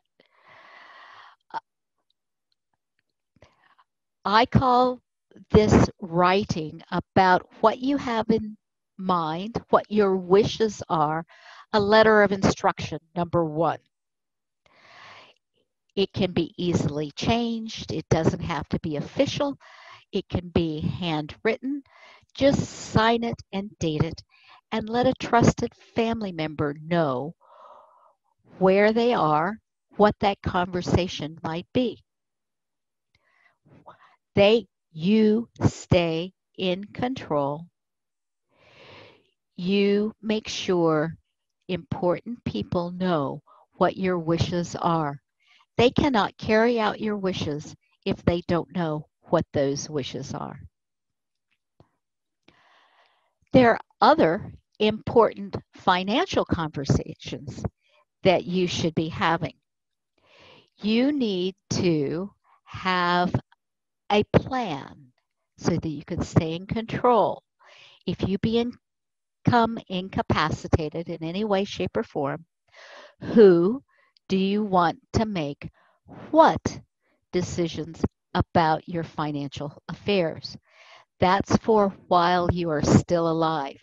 Who is going to make what decisions about your financial affairs while you're alive? Then there are other important financial conversations about who do you want to make what decisions about your final arrangements, your final estate plan. Who do you want to make what decisions about the distribution of your estate? Again, there are important documents that you need to prepare that are all about you before you die. And this is what we call the power of attorney. There are lots of different kinds of powers of attorney. Um, there's like the common power of attorney is the power of attorney that you might sign. Um, let's say you're going to sell your house and you're moving to the new location and you can't be present for the real estate settlement. You might sign a common power of attorney selecting an agent to do one thing, and that is to sign the documents at the real estate um, settlement uh, because you can't physically be there. It only does one thing it picks an agent to do one thing that's to close out your house. Or you might uh, use a power of attorney uh, if you want someone to manage your uh, affairs while you're going on an extended trip. Um, somebody has the authority to collect your mail, to uh, water the plants, take care of the pets, whatever it might be. Um, you pick somebody to do something that has a specific beginning, the date I leave for my vacation, and it has a specific ending. When I come back from vacation, that agent no longer has any authority to do any of the things that you asked them to do, you authorized them to do, you delegated to them to do just for a specific time period. One of the legal problems about a common power of attorney is that with the power of the legal concept is that you are supervising your agent doing the things that you have told them to do that you can't do for yourself. And the legal concept is that if you're not able to supervise that person, then that agent shouldn't be going around doing things in your name. By statute, we recognize that there are definitely circumstances in which I want my agent to do things when I can't supervise them. And this is what we call a durable power of attorney.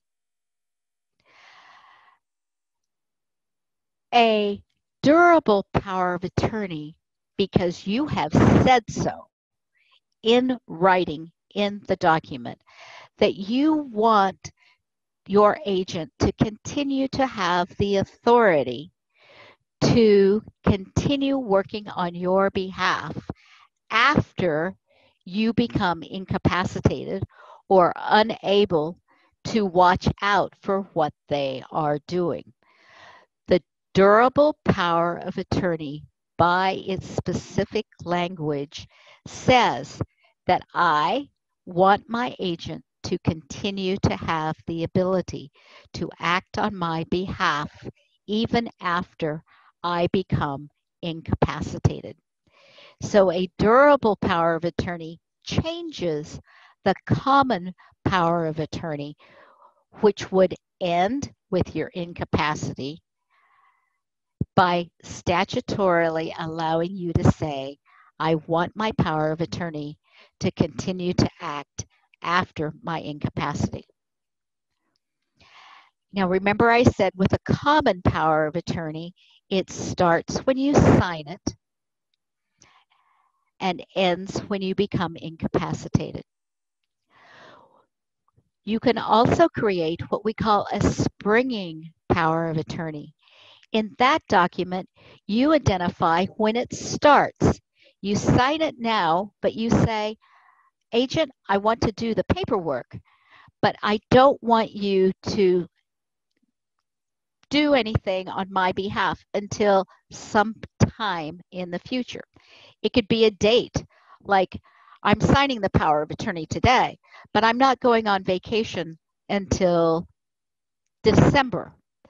And you don't have any authority between now when I sign it and December when I leave. So, a springing power of attorney, you can say something at some time in the future. Now, one of the problems with the springing power of attorney that we recognize is sure, we know like if you say December 1st, 2020, you know everybody knows when December 1st has happened.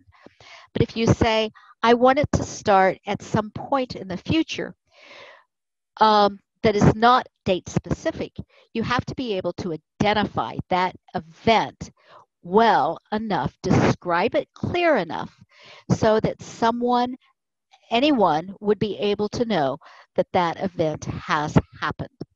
And you can have a springing power of attorney that starts in the future, as well as a durable power of attorney that says, I don't want it to end upon my incapacity. I want it to stay longer than that. Any kind of power of attorney dies upon your death. The agent has no authority to act after you die. So, why do you want a financial power of attorney? You stay in control. You pick what you want your agent to do. You give the agent instructions about what you do or do not want them to do. Uh, you tell them you can do this, but you can't do that. You can sell my house or you can't sell my house. You can sign these contracts, you can't sign those contracts. And you pick the person that you want to be your agent to do the things that you have told them to do. Without a financial power, you do not, you lose control. You cannot pick the person. You don't pick the powers. You don't, they don't have any instructions. So what happens if you need a financial decision maker and you have not done a financial power of attorney, your family will need to go into court to pick the decision maker who will make those financial decisions while you are still alive and will give that person what the court thinks are the powers and authority that that person needs to be. This is going to be a guardian or a conservator, something that you easily can avoid if you have made a plan and put it in writing. Pick the powers, give the instructions, and pick the person. There are other legal documents that you want to be sure that you have, and that is for not so much for you, but it's for your family after you have died. One of the most obvious documents is a uh, will, a last will and testament. What you do in your will is basically identify the how you want your assets, your property, your personal possessions, your money, your resources, whatever they might be, how do you want those distributed after your death?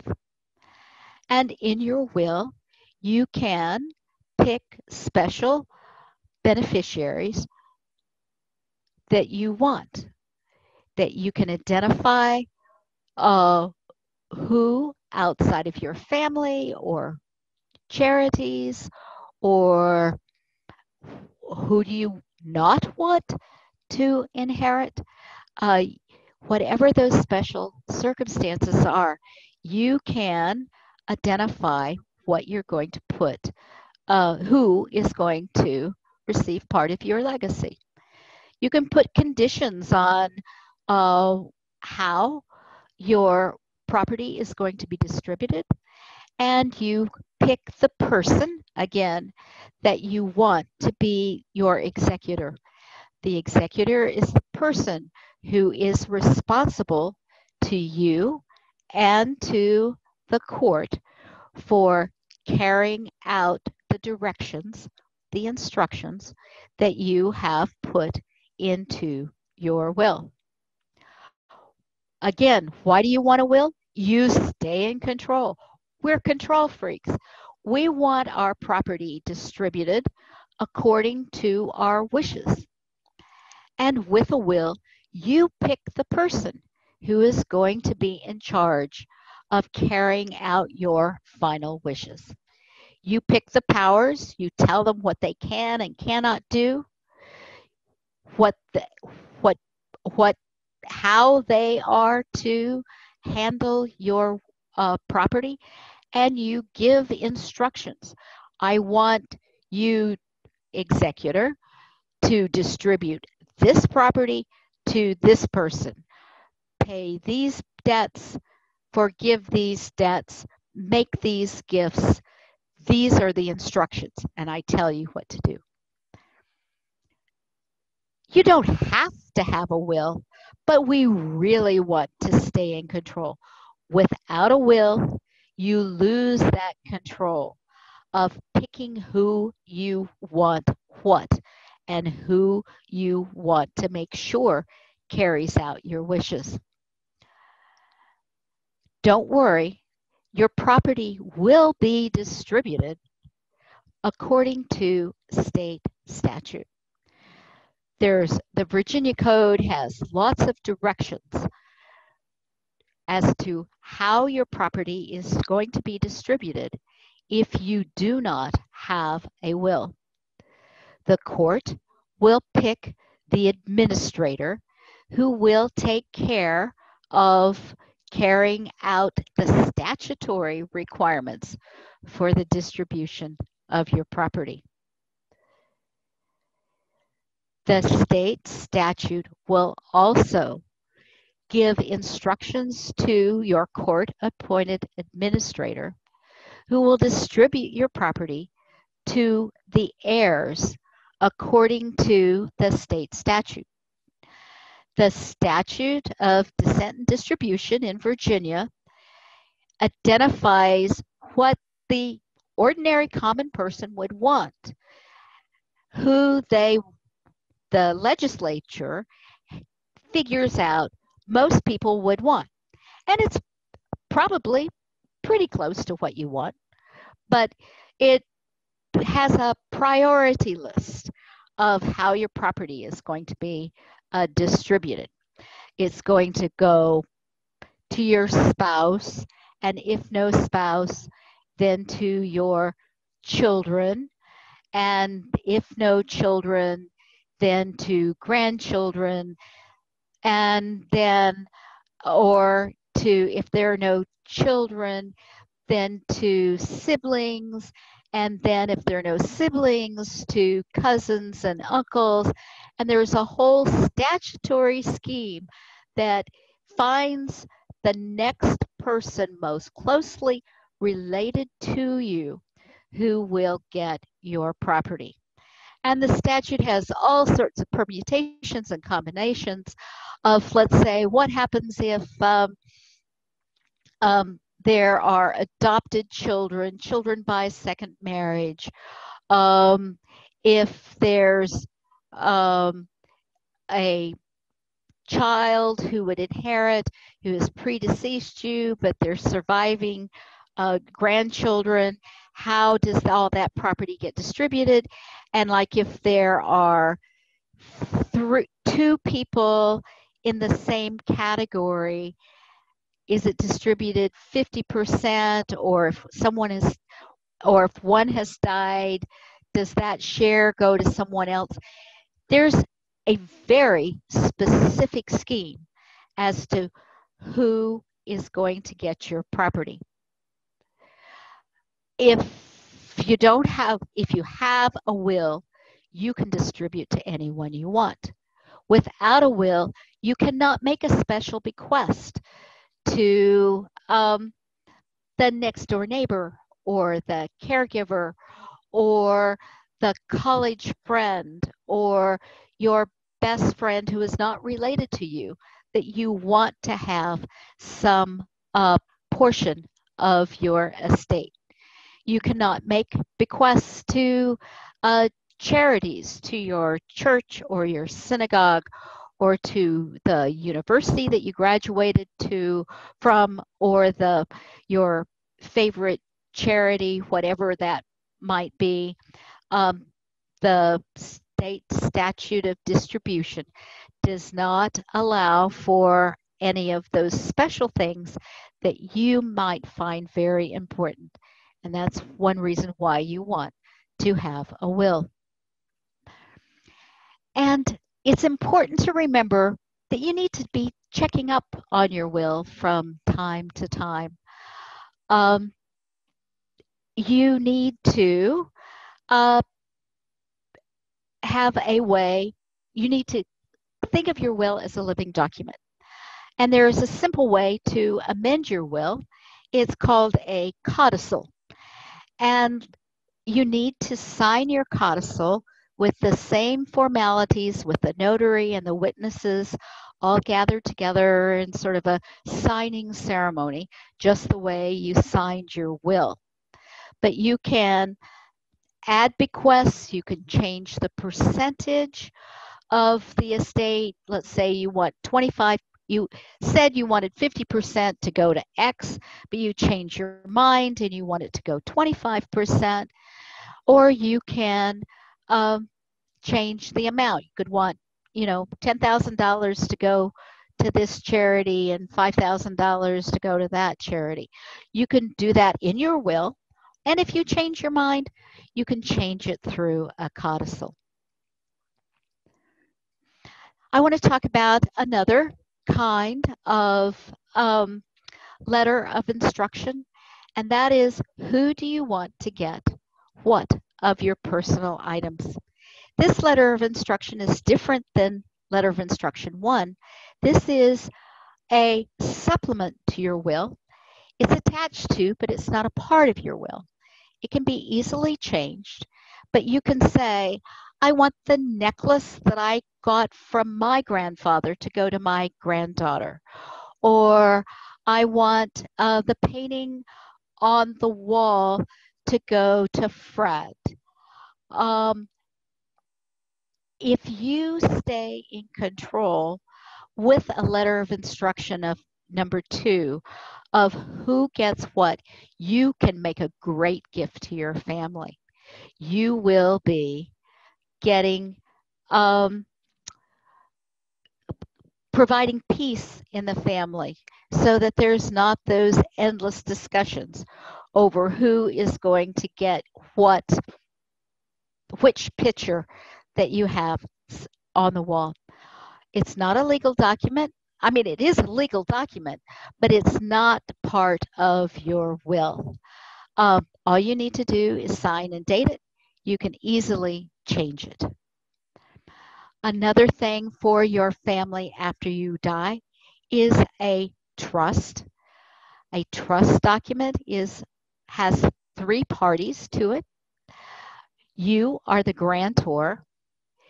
You name the trustee and the successor trustee that you want to be in charge of managing the trust as well as you name the beneficiaries and the secondary beneficiaries who are going to um, take the benefit from the trust.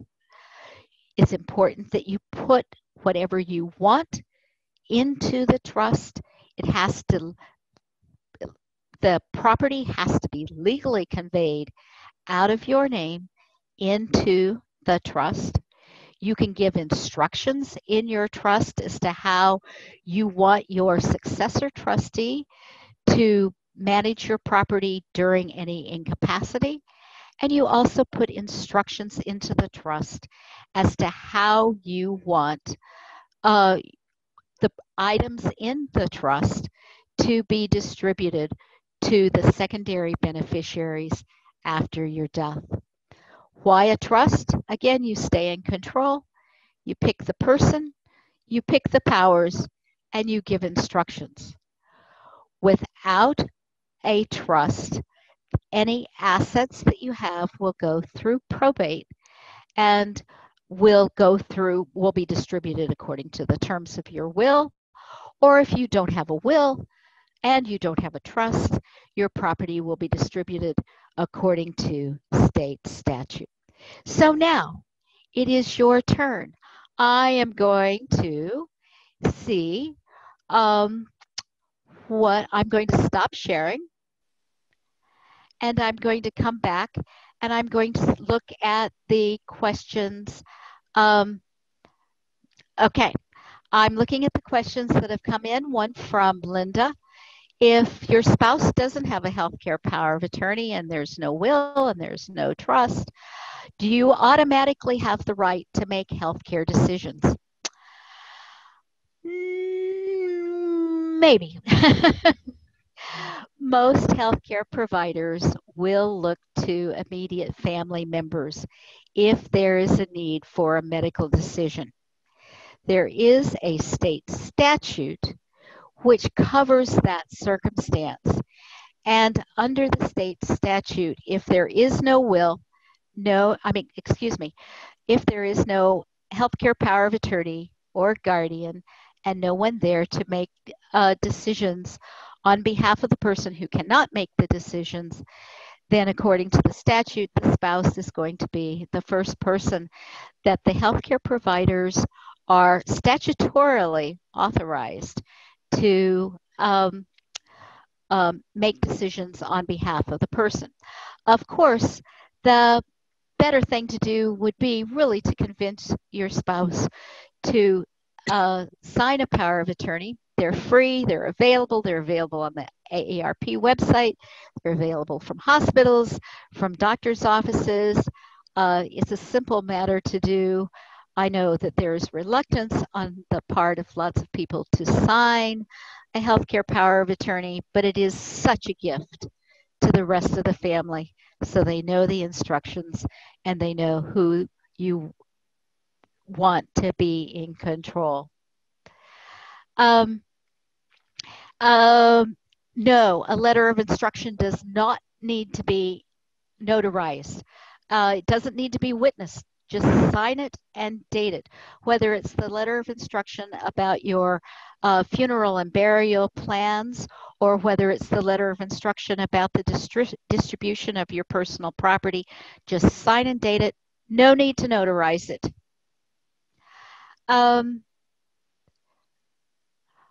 okay, uh, can I put up who? Oh, I will put back up the slide with the other checklists that are available. I will do that. Uh, but Leah, who initiates the post?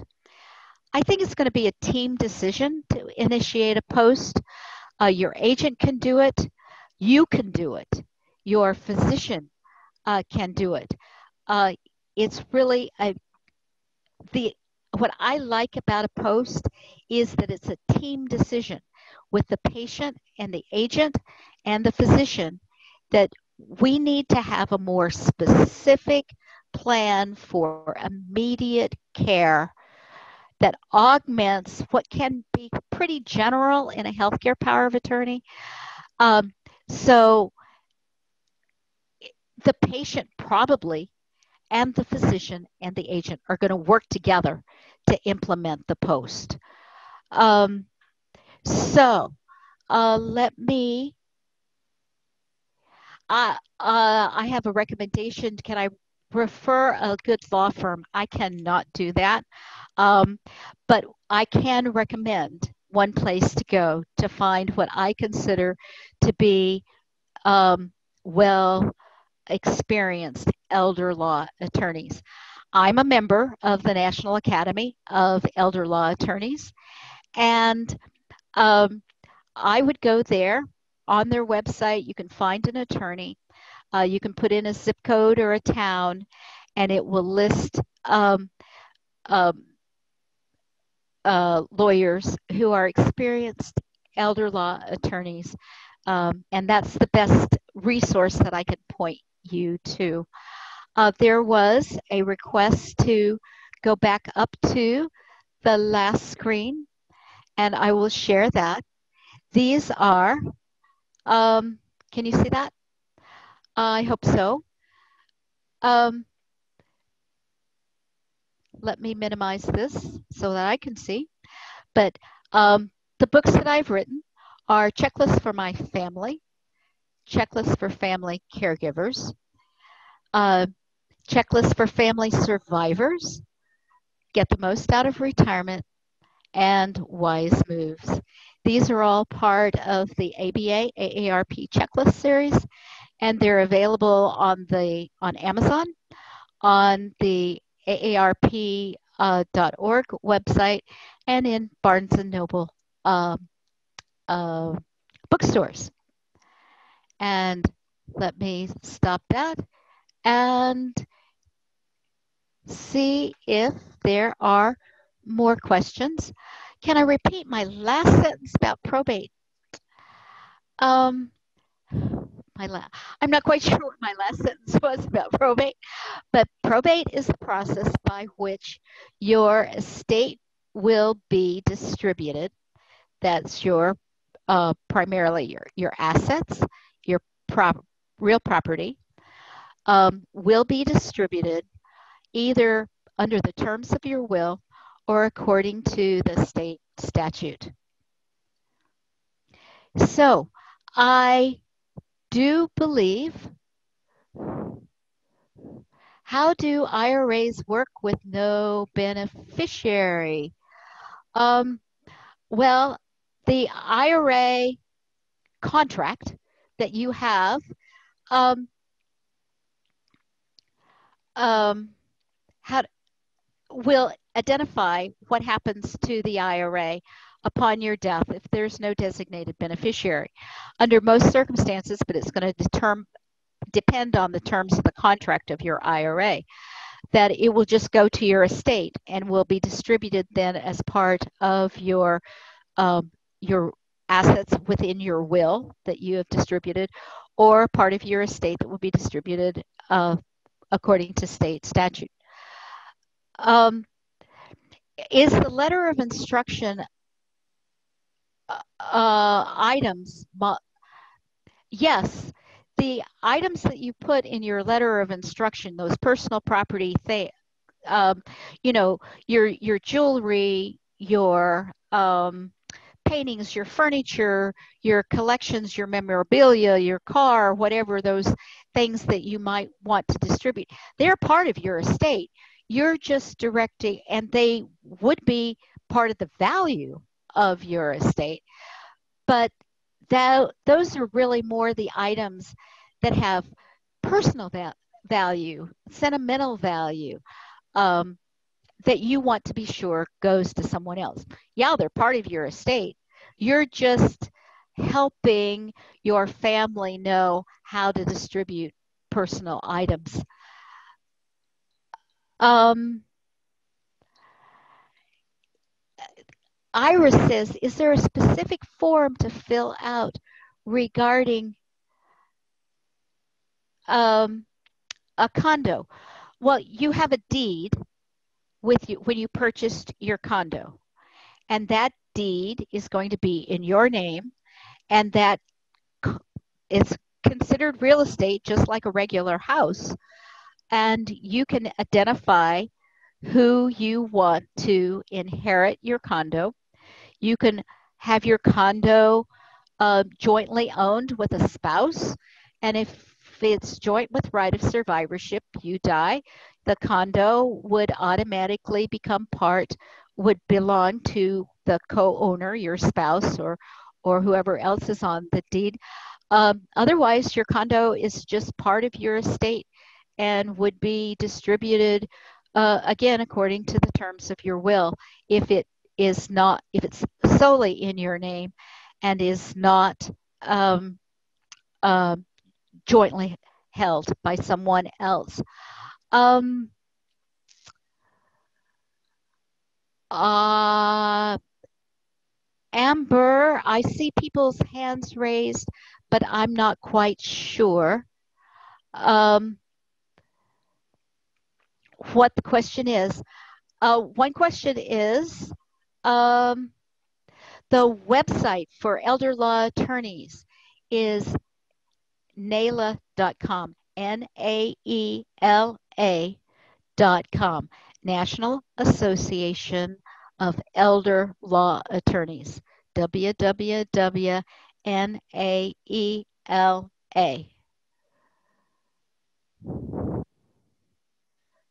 Uh, I uh, am Okay, getting. Suba. Hi, hi, Suba. Well, thank you, Sally. That was amazing information. Um, and again, this is Suba on behalf of AARP Virginia. Um, Mike, can you see me? Uh, yes, sir, I can. All right. Um, again, I'd like to thank our fantastic guest speakers today, uh, Sally Hurme and Ken Budd, for sharing their valuable time and knowledge with us this morning. Also want to thank Mike and Susan at OLLI, who really helped us set this Zoom up. And also to Miss Amber Sultani, our Associate State Director here in Northern Virginia, who really did amazing behind the work to uh, get this uh, academy set up this year. Um, anyway, I want to just go over a few closing notes. Uh, AARP is the nation's largest nonprofit, nonpartisan organization dedicated to empowering people 50 and older to choose how to live as they age. We hope you'll join us for future events. And of course, please stay connected. You can find us online at aarp.org forward slash VA. And again, that was aarp.org forward slash VA.